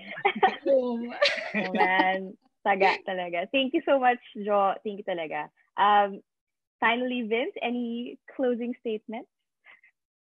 I think I would like to just end it by focusing on the aspect of advocacy. So, what's important really when you're advocating for something is you learn more about your advocacy. You deepen your relationship with your advocacy because that's when you realize that there are a lot of um, intersections with other disciplines. You realize that your advocacy is more cross cutting, and that's where you start to understand that it's something that is really, really important when we're advocating for or when we're looking to envision a sustainable city. So when we're talking about advocacy, um, the thing is, your feed sometimes provides you with too much information and it becomes so draining. There's so much visual noise and it's pretty tiring to react to everything. But when you focus on one advocacy, you just mainly focus on how your cause is connected with everything else because everything is connected with everything else. It feels empowering because you have more agency and creative fidelity in trying to make sense of your cause with the very issue that uns- that um that is very un- that unsettles you. The the very issue that unsettles you about the current um the, the now. So if you haven't found your advocacy it's okay. Uh take your time because advocacy is a lot of nitty gritty work. It's a lot of research. You have to learn and better understand and educate yourself on all the different jargons the stakeholders the concepts the systems there is so much to learn but what happens is that it becomes more rewarding because you realize that advocacy is something that is very important when we're trying to push for um, better cities. Because at the end of the day, you don't need to be an urban planner to discuss our need for better cities. You don't need to be an urban planner to advocate for better cities. You simply just need to experience the city in itself. You need to feel, see, hear, smell, and more, more importantly, you need to um, feel what it's like to be in the city so that it will inspire you to learn more about city living and hopefully in the future you'll be able to take action on changing and making social impacts that will eventually make your city better. Well, there you have it, everybody. if I may echo what uh, the two amazing people said, uh, if you don't have an advocacy, it's okay. Allow yourself to experience your city. And again, what also what Jo said, um, when all else fails, ask yourself, lagit lagi, para kanino? Thank you, Jo and Vince. I enjoyed and I missed seeing you dearly. Um, now I'm giving the mic back to Anjali. Thank you both. Amazing, very inspiring panel. Um, thank you guys. Thank you, Andy, for moderating the panel with Vince and um, Jo. Um, grabe yung lagi, para kanino, um, I cannot quote it perfectly. My Tagalog is escaping me right now. I have to practice even more. But I would like to echo some more of um, the things that you guys mentioned early on, actually, in the panel, wherein because of the pandemic, we actually redefined the essential, um, according to Jo. And I, I have to echo this because it's true. Like when we think about education and quality education, um, usually the mind floats to math and sciences, etc. But if you look at and um, look back at what are the free services and some people may call it entertainment that became free what right when the covid pandemic hit it was the arts really google um, advocating for its museum tours online and virtually um, netflix um, audible and other um, books um, platform actually give their services for free just so we can all enjoy um, the arts and literature uh, that we usually take for granted. Um, I would also like to echo what Vince said about how some opportunities um, to learn got canceled because of the COVID pandemic. But um, the good news is that there are new opportunities to learn, um, including what they advocated for, which is some events and shows happening with CCP right now, and even volunteer work like the reaction work um, that we are actually um, doing right now in Make Sense in partnership with Citi Foundation. Let's not forget to give the proper credit also to our partner, Citi Foundation, who without them, we cannot do many of these things. So thank you so much and kudos to everyone. Um, I would love to hear more about the Y4SC Ambassador's journey ever since the program started. Um, but for now, I'm afraid we have to move forward. Actually, we have two more parts to this webinar. And for those who are viewing right now, we are approaching the interviews to um, for us to get to know the two startups uh, that are part of the academy um, under the Y4SC theme, among many others. We will begin with getting to know Kathy Amores, the founder of Tabang. So Kathy, if you could turn on your mic and video, please. Um, and I will ask you the first question so that we can get to know you better. Hi, Kathy. How are you doing? Uh, hi, everyone. Uh, doing great. Kathy is actually tuning in from Cebu, guys. Um, so hello, hello. Hi. Um, Kathy, um, you were part of the Y4SC sprint and you graduated and became part of the academy um, of Make Sense incubation program right now. Um, perhaps you could tell us a bit about yourself um, and how you found Y4SC Sprint um, when you started it. Um, so hi, I'm Kathy. I'm a materials engineering graduate from UP, and currently I'm working in data analytics. And yeah, I was part of the Youth for Sustainable City Sprint, and it was great. And from there, we from there I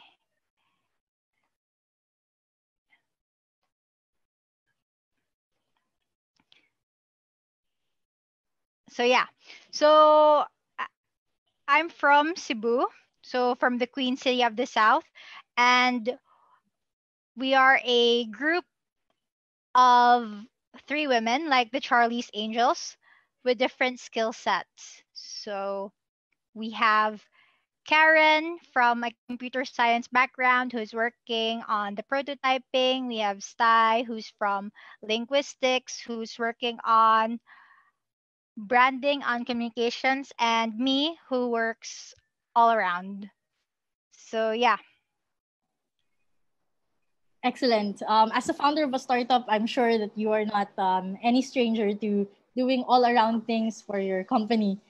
Um, thank you so much, Kathy, for introducing us to who you are and a bit about your team. Um, perhaps now you can um, what the problem, um, what is the problem that you identified um, a particular gap and uh, why are you trying to solve it? I mean, what are you, why are you motivated to work on this particular problem?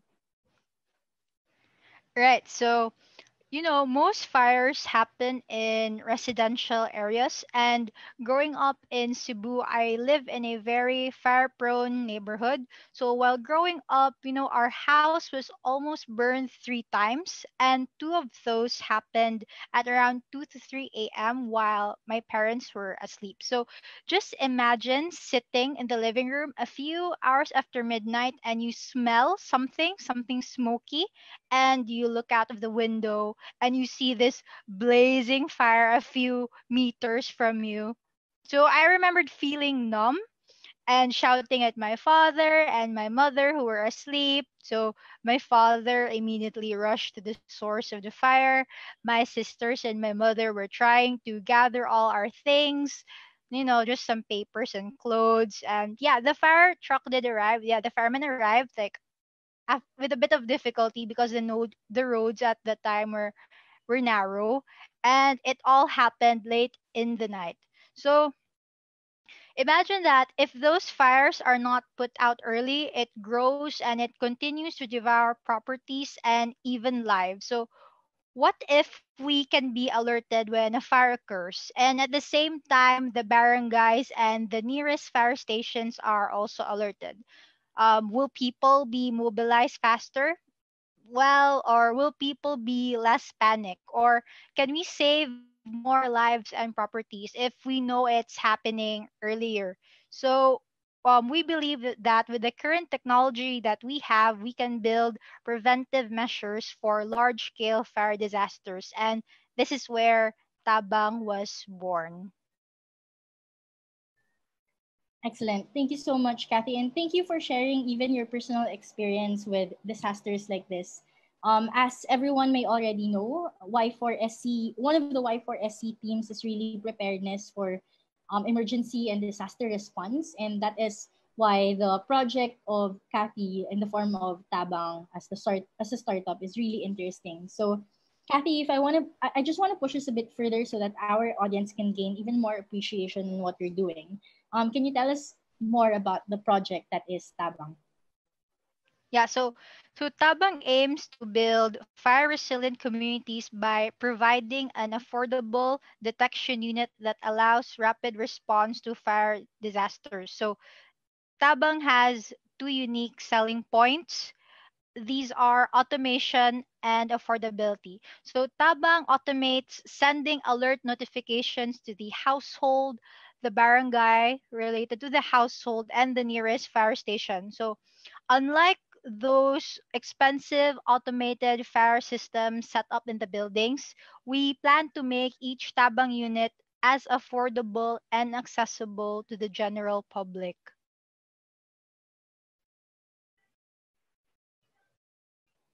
Excellent. Actually, when I was trying to learn more about um, Tabang and your your advocacy, Kathy, I had to check about the, my own fire alarm system, and I have no idea about how it is. And I remember in one of our conversations, you told me that not a lot of people actually know when when or how to contact the fire stations in their own localities. And having a product like what Tabang is trying to create um, which automates the alert for the people who will respond to the fire emergency. That would be really, really helpful and relevant, especially for people. I could just imagine myself that I would be really, really panicked and confused about what's happening. So thank you so much, Kathy, for telling us a bit more about Tabang. Now, um, this might be an obvious, the answer to this might be an obvious one already, but I'd still like to ask, no, um, what will the country, what will the Philippines look like if more people patronize Tabang and its products? So yeah, so if Tabang is patronized by the people and the country, we see a country that is more prepared against fire disasters, a community that are aware and vigilant, and a community that continues to work together to build a fire resilient Philippines.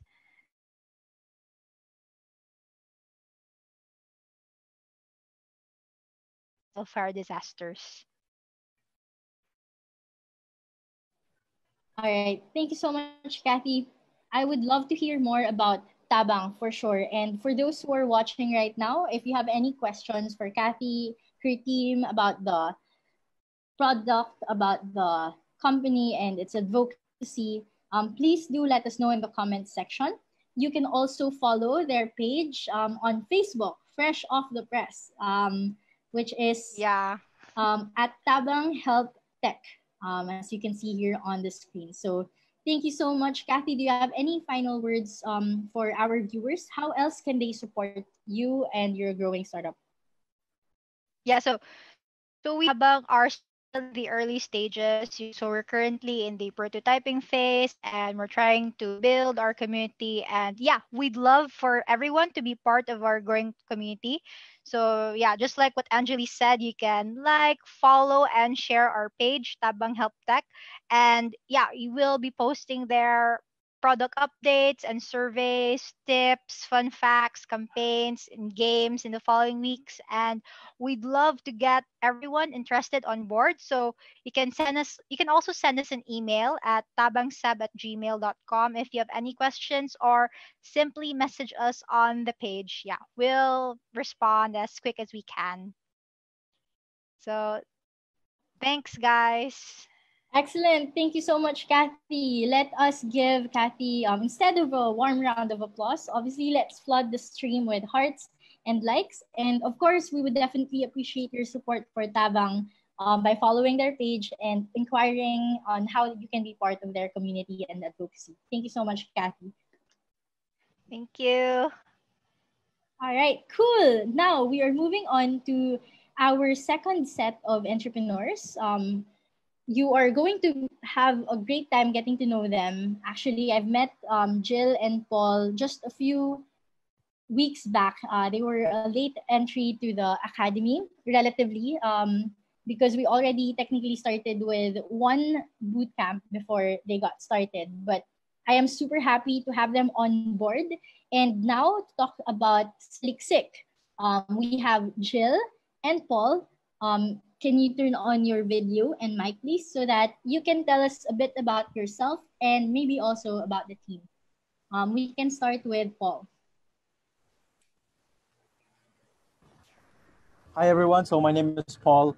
Um, I graduated from a legal management background in DLSU, and currently I'm handling the business development department for Saliksik.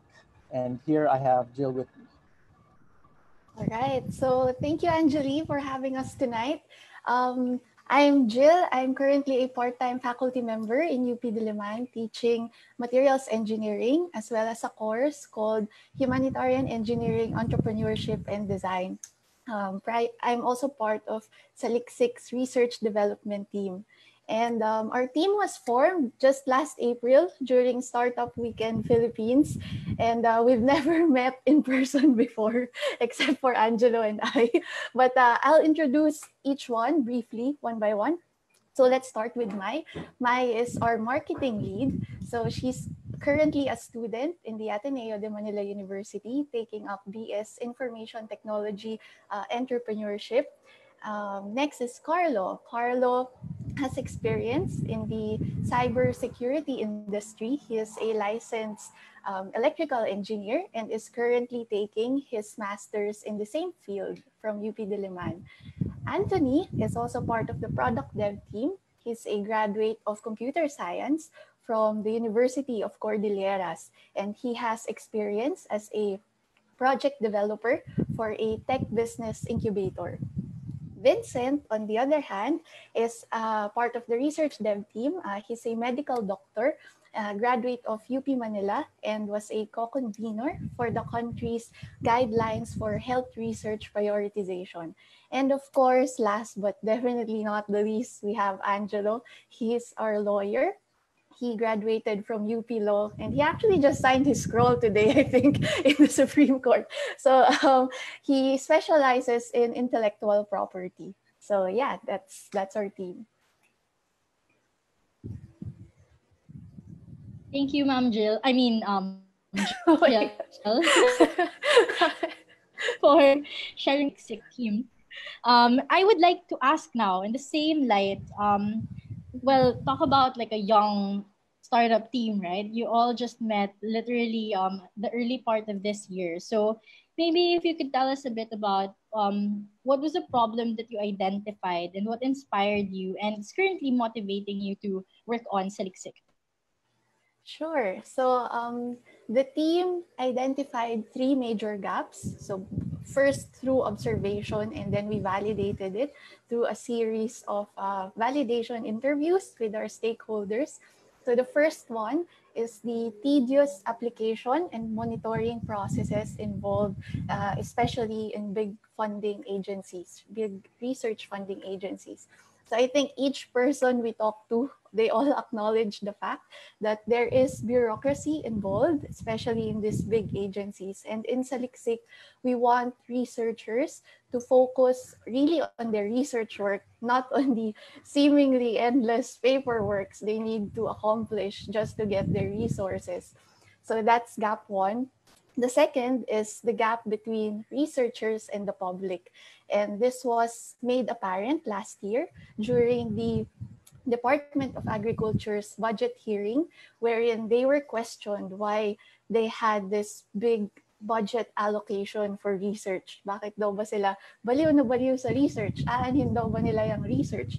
So that was sort of a wake-up call that people don't seem to appreciate the, the value of research in our everyday lives.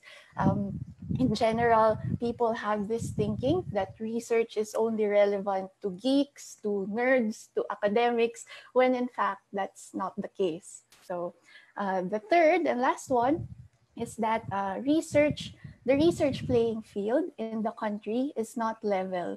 And this is uh, most especially true for the regional and far-flung areas wherein they are at a geographic disadvantage to access to resources. So these resources can be either in terms of funding, in terms of mentoring, in terms of supplies to carry out their research projects. So yeah, these are the gaps that Saliksik uh, is trying to fill out.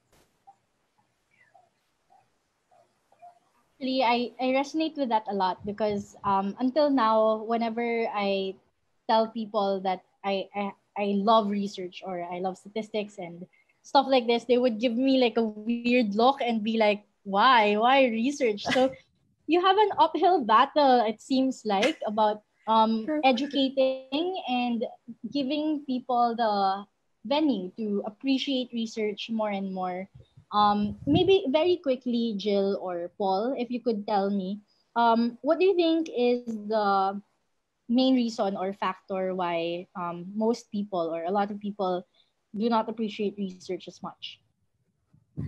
Okay. Um, so I think we think it boils down as well to communication.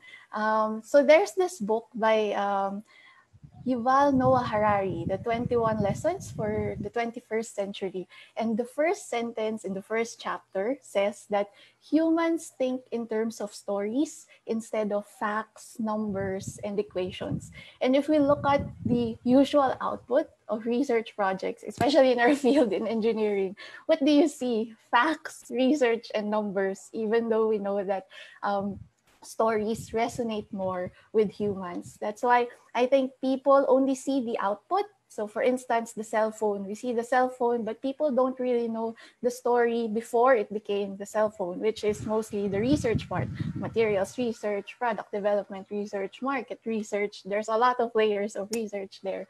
So, yeah, we think it's communication. Um, okay, thank you so much, Jill. I definitely agree. Sorry, just one more follow-up question before I let go of this topic altogether. Um, I know that, well, at least part of your website says that um, some of the projects or even a lot of the projects that you want to support um, is in light of the COVID situation. And I am just curious about what, how or why do you think research is key to fight COVID-19? Okay.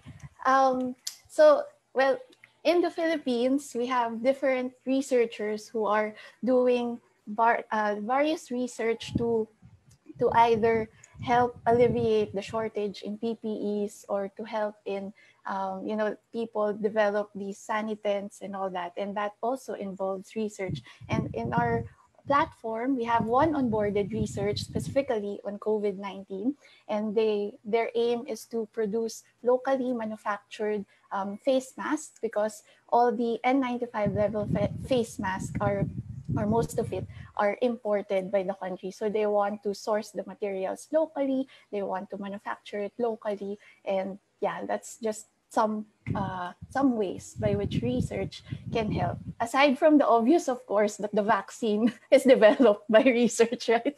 so.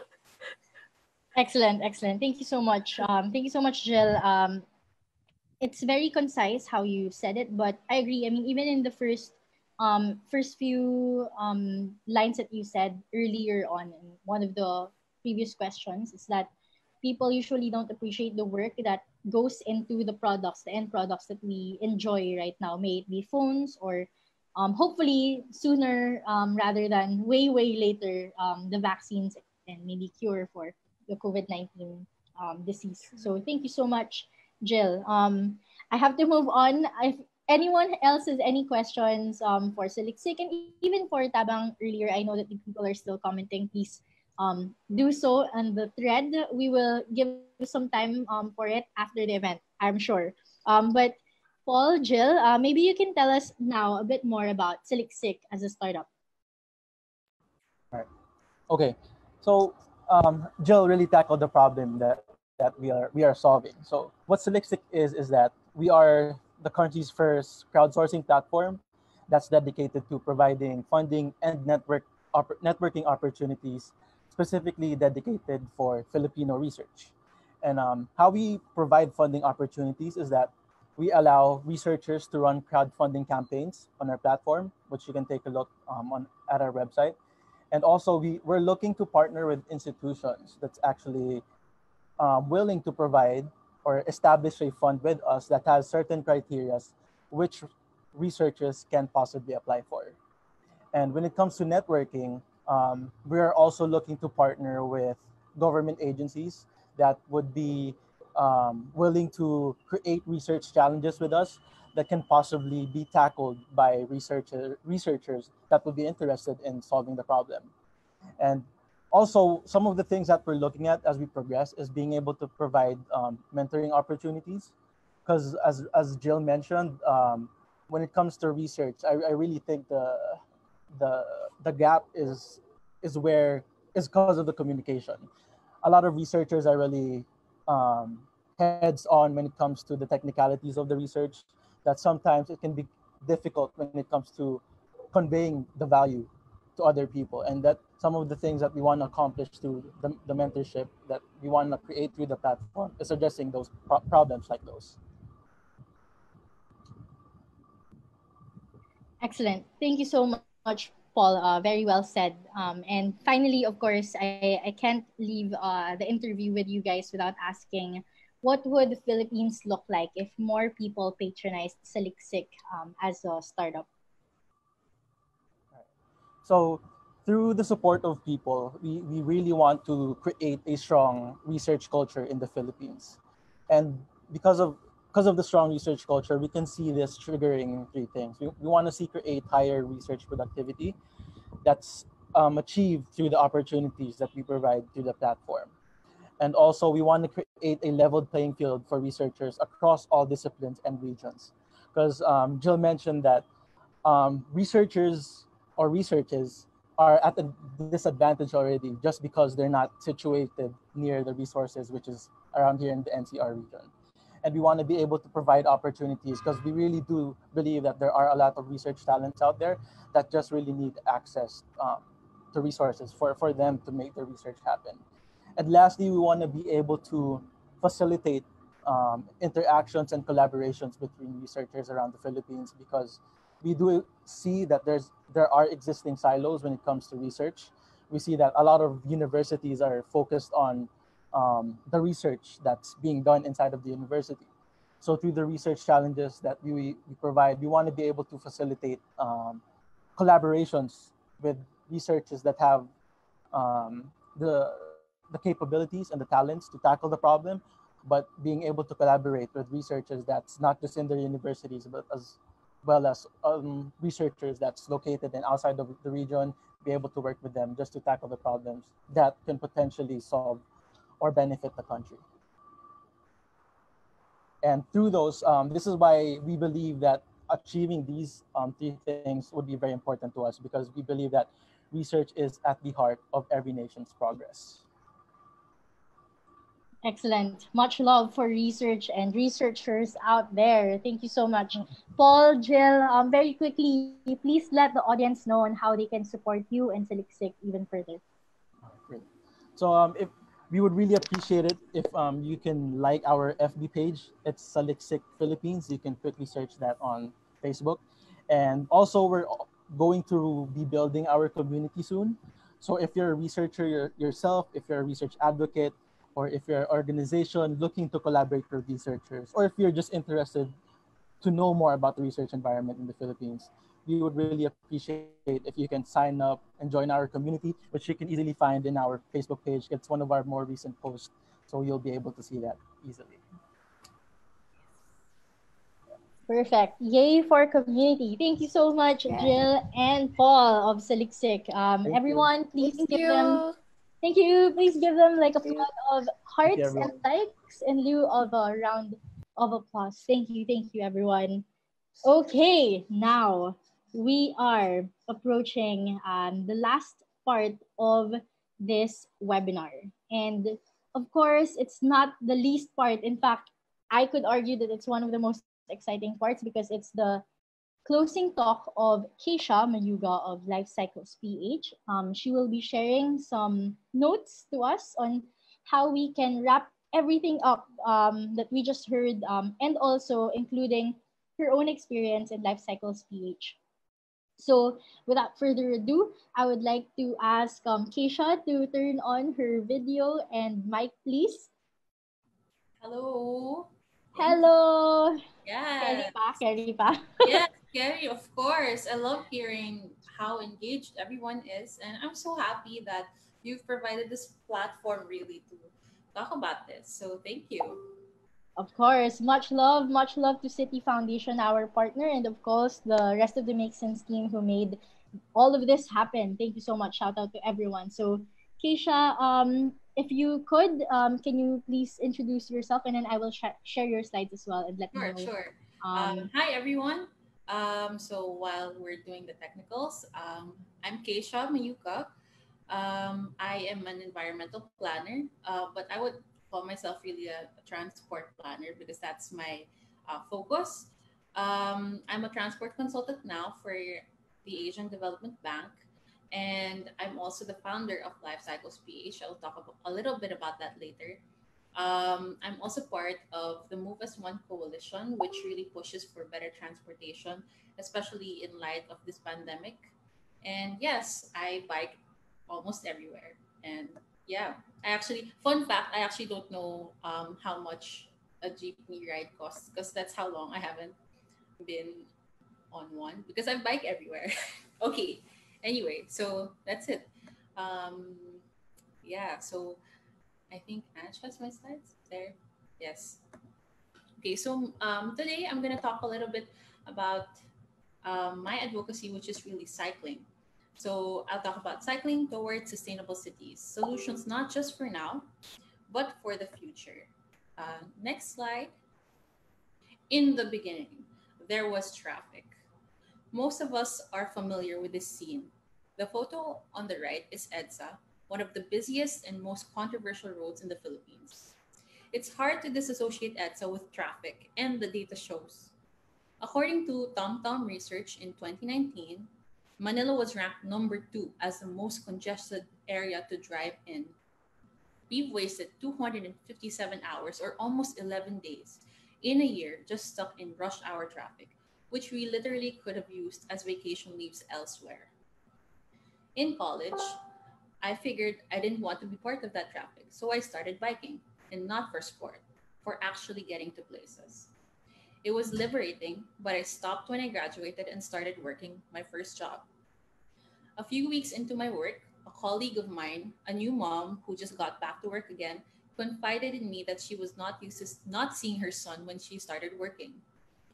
It was because she wasted so much time in traffic, so she would have to leave so early that she didn't see him wake up and get home so late that she only reached him while he was sleeping already. I thought that was ridiculous and so inhumane. She was just one of the millions of Filipinos who don't get to see their families because they waste five to six hours a day trapped within our poor transportation conditions. So I decided to shift my gears from my journalism background into making transport better for the Philippines. Next slide, please. I made a goal after my epiphany. I want people to get home in 30 minutes or less, faster than your average pizza delivery. For that to happen, we needed to change the city. My personal vision was that I wanted to live in a city where my future kids could bike to the park after school and I wouldn't have to worry. Unlike probably most parents today, and it's totally understandable. In 2017, I made a vow to work towards that vision.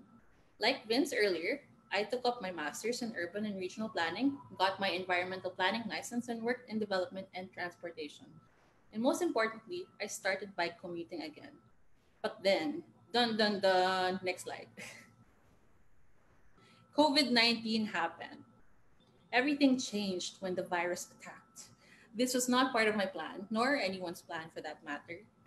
I didn't know how to continue with my goals because everyone's priority was to survive. Cities needed to adapt and we did too. Next slide, please. There were some good adjustments, like the popularization of the mobile palenque. I personally love this because um, I get vegetables like every week nearby my building. And some other adjustments for a lot of us was working from home. So if you can see there, it's a photo of my brother um, having a meeting with my dogs. Um, but some adjustments were a little bit more difficult, such as restricted access for many citizens to go out or in some areas. The change that hit home the hardest for me as a transport planner was the loss of public transport. Next slide, please. I remember when the government announced that all mass transport will be stopped the next day. I wept. I cried because it hurt me to know that so many people will be stranded, left to walk, and unable to even get home. Many people, just hours after that announcement, were left to wait overnight in checkpoints for nothing because there were no jeeps or buses. Some had to walk for five to six hours just to see their families. When the government was asked, how were the frontliners supposed to get to work? They answered, take a car or walk. Sadly, only 20% of Metro Manila owned a car. So imagine 80% had to walk. That was crazy to me. We had to do something about this. There must be other options. Next slide. And what other options do we have aside from walking? As a bike commuter, I thought this was really the best time to start talking about active transport. In less than 20 hours since the announcement that there will be no public transport, a bunch of friends, transport advocates, restless young people, and I got together and put up a donation drive to provide bikes for frontliners who had no means to get around. Next slide, please. And so Life Cycles PH was born. Ironically, on the same day I was born. So it was born on my birthday. um, our goal was clear. We wanted to provide bikes to essential workers so they could have a way to get to work and home. We did this in two ways. First, we collected donations from individuals, companies, and groups who wanted to help out and bought bicycles in bulk to donate them to hospitals, LGUs, supermarkets, and malls. Through these donations, we were able to collect more than 3 million pesos and, and donate to more than 1,000 frontliners in more than 50 institutions. People are still donating up to now, and thanks to some of our reaction volunteers, shout out, and people, people have still been giving, and we have still been providing bikes because more people actually need bikes. The second way we got bikes to frontliners was through the Life Cycles PH community Facebook group. The community allowed people who wanted to lend bikes to match with people who needed to borrow bikes during the, the enhanced community quarantine. There was no money involved for the most part, and the only currency was purely trust. These are just strangers lending their bikes to other strangers. We really saw the Bayanihan spirit within the community with some veteran cyclists even helping out with tips on bike commuting. Now it's a community of newbie bikers encouraging each other and posting about their bike commuting experience. From this group, we've had 400 lender borrower matches since the beginning of the quarantine. This movement also inspired other cities like Baguio, Davao, Cagayan de Oro to do the same in their communities. Next slide, please. Through Life Cycles PH, we've helped more than 1,400 frontliners get to work, not just for a day, but every day since they got a bike. Here are just a few of them. Ryan on the left is an on-call nurse. Because someone lent him a bike from the community, he was able to bike to a father who was looking for someone to visit his home and inject medicine to his baby. Because they couldn't go to the hospital, it was too risky for his baby. Here in the middle is Willie. He works for Pasig City and saw that people that biking is something he will choose to do every day, even if public transport resumed. His hour and a half GP commute is now a 40 minute bike ride home. And lastly, the one on the right is April with her colleague. She works in the medical city and bikes home to Antipolo, which is really hard. I mean, if anyone's been to Antipolo, it's going up. so she only started during the ECQ. She only started biking during the ECQ and has since then been rallying and promoting cycling in her own hospital. She requested for the um, bike rafts, and now so many people in the hospital are biking. There are hundreds more stories I could tell you about the lives that have been changed by a simple bike, but we might take all night and Ange might get mad at me. Just kidding. Uh, next slide. but now we know that there are many cyclists on the road how do we make it safer for them? A lot of the cyclists you see now in Metro Manila are new bikers, and it can be scary, understandably. So we started rallying for protected bike lanes in the city. The photo on the left is another movement I was part of, the EDSA Evolution, and we launched bike lanes on EDSA last May 24. That's me biking in the white shirt. we planned to put this up with only less than a week of planning, and we were so excited to launch it in the infamously traffic road. If you saw the picture earlier, this is like, is it the same road? Unfortunately, we only ran the bike lanes for a few hours, but this was just the beginning of a domino effect of pop up bike lanes around the Philippines. Within a month, cities started putting up their own pop up bike lanes. San Juan City, the photo on the right, launched their bike lanes on June 3, World Bike Day. Other cities like Baguio, um, Davao, Iloilo, Mandaluyong, Taguig, and Quezon City have also been brewing their own bike infrastructure programs, planning not just for this pandemic, but even beyond. Next slide, please. My experience in pushing for better cities for cycling would not have been possible if I did it by myself. Everyone has a part to play, whether you are part of civil society, the government, the private sector, or youth. So everyone has their own ground to cover. Um, if you can see the different examples here, um, the one in the upper left is Bikers United Marshals. So they put up pop-up bike lanes during rush hour along Commonwealth. On the next photo, um, Itaka, which is another movement giving reflectors so that cyclists are seen. Um, and in turn, you know, the government is also helping out. Um, car drivers are warned not to use or park on bike lanes. And if you can see the next photo on the bottom, it's um, DOTR's design on EDSA to put up protected bike lanes um, on the outer lane. And the private sector also has its part to play. Uh, if you can see, there's a lot of bicycle parking and it's getting fuller and fuller. So every time I actually visit a, an establishment or a mall, they keep adding bike racks because that's just how many people are biking today. So next slide, please. So what are some things that we can learn from this pandemic, this experience in the pandemic? Next slide. Um, I learned that cooperation is really important. People are always arguing which approach is better, top down or starting from the administration side versus the bottom up or more grassroots or community driven. Top down has its benefits for longer term effects, but may take a long time. Bottom up is a fast approach, but may be temporary or unsustainable. But the best way, really, is to work together, top down and bottom up, to make something fast, well planned, and sustainable. So it's not a matter of which is better. We we all have our parts to play, and the best way, really, to get things done and to make it sustainable is to work together. Um, next slide. We can do so much with the technology we have now. Honestly, without the tools we have in social media, I wouldn't be here talking in this webinar. Being connected online allowed me to meet different people, learn from them, and let my voice be heard. I've only been in the field of transport for three years, but because of being vocal about biking and engaging with different groups online, I sort of made a name for myself that allowed me to start life cycles and put up pop up bike lanes. If you're listening or watching this, you have the same tools too. It's just a matter of being creative with how we use the technology in front of us. And lastly, next slide, plan for the kind of future city you want and take action. So if you heard the many people who were talking before me, they are taking action.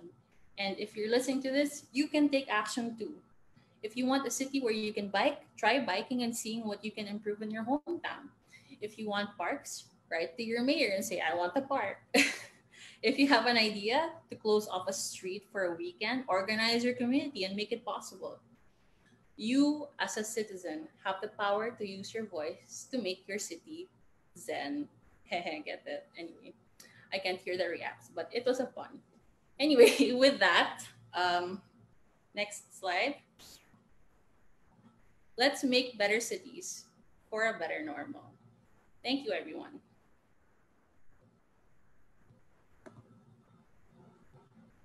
Oh my gosh, thank you so much, Keisha. I I don't even have time to sort of echo anything. and, and I don't know, like uh, for those who actually know me and, or have heard me speak um, before this or moderate a panel, for example, in Make Sense TV, I'm usually quick to my wits, but after listening to your talk, Keisha, I, I like a lot of them even dare I say all of them resonated with me when I was looking at the photo of EDSA before like I mean not so long before when there were still a lot of cars, buses and people on the sidewalk trying to get to the buses versus the EDSA that has bike lanes like protected well not entirely protected bike lanes but at least dedicated lanes for bicycles and bicycle riders it's just so different and it just makes you think. Um, well, personally, it makes me a bit frustrated, angry, sad, but also hopeful that there are things that can be done. Um, so, Keisha, such a perfect talk to close all of these things. Um, thank you so much for being with us here today. I'm sure this is not going to be the last. So, um, Keisha, before I let you go, if there's anything that um, our audience, our viewers can do for you and for the advocacy that you are standing for, um, can you tell us how we can support these even further? Yeah, um, so thank you so much, And Um, you can visit Life Cycles PH um, on Facebook and you can join our community, Life Cycles PH community. If you have a spare bike, you can lend. So, yeah, thanks everyone. Excellent. Thank you so much, Keisha. Um, we would love to hear from you, especially on the comment thread section. Um, I hope that everyone is still okay. Um, now that we are formally closing the show, um, I would love if you could flood the stream with hearts and like reacts to give appreciation and send some love to all of our speakers, to Keisha, to, the ambassadors, to the entrepreneurs, um, and even our moderators who are very helpful um, in this event. Um, I literally wouldn't have done it with the team. And of course, um, big shout out to our partner, Citi Foundation, um, who is helping us with the re- reaction program, with the Y4SC program, all of these advocacies on youth for sustainable cities. Again, um, proper credits for them because without them, we, we couldn't probably do a lot of these things um, realistically, especially at this space and at this scale. So thank you everyone for tuning in. Um, I would like to say a few more notes. Well, starting with, I am very sorry for ending the webinar um, later than expected. I, I know that we said we will, it was just so jam-packed. Um, we couldn't even um, address most of the questions that you put on the comment thread, but don't worry, we will get to them um, after the event um, and respond to your comments and questions on the thread itself. So um, on behalf of the Make Sense team, um, of course, again, in partnership with Citi Foundation, on behalf of all the speakers and panelists and moderators we had in this webinar tonight, thank you so much. If you didn't catch the beginning of the event, or if you just want to replay it because there was a quote that resonated with you a lot, you can watch the replay on our Facebook page. Don't forget to follow the Facebook page of Make Sense PH alongside all of the links uh, that our speakers, entrepreneurs, and um, panelists have given to you in this whole event. So with the final note, I would like to remind everyone that we are still having the reaction program ongoing. So if you want to join or learn more about it, go to our website. Um, this is powered by both Make Sense and Citi Foundation. So thank you so much um, for tuning in up to this point. Um, if you have any questions, anything at all, comments, send some love through the Facebook live stream. But for now, I would like to say good night and happy dinner to those who haven't eaten yet. Bye bye.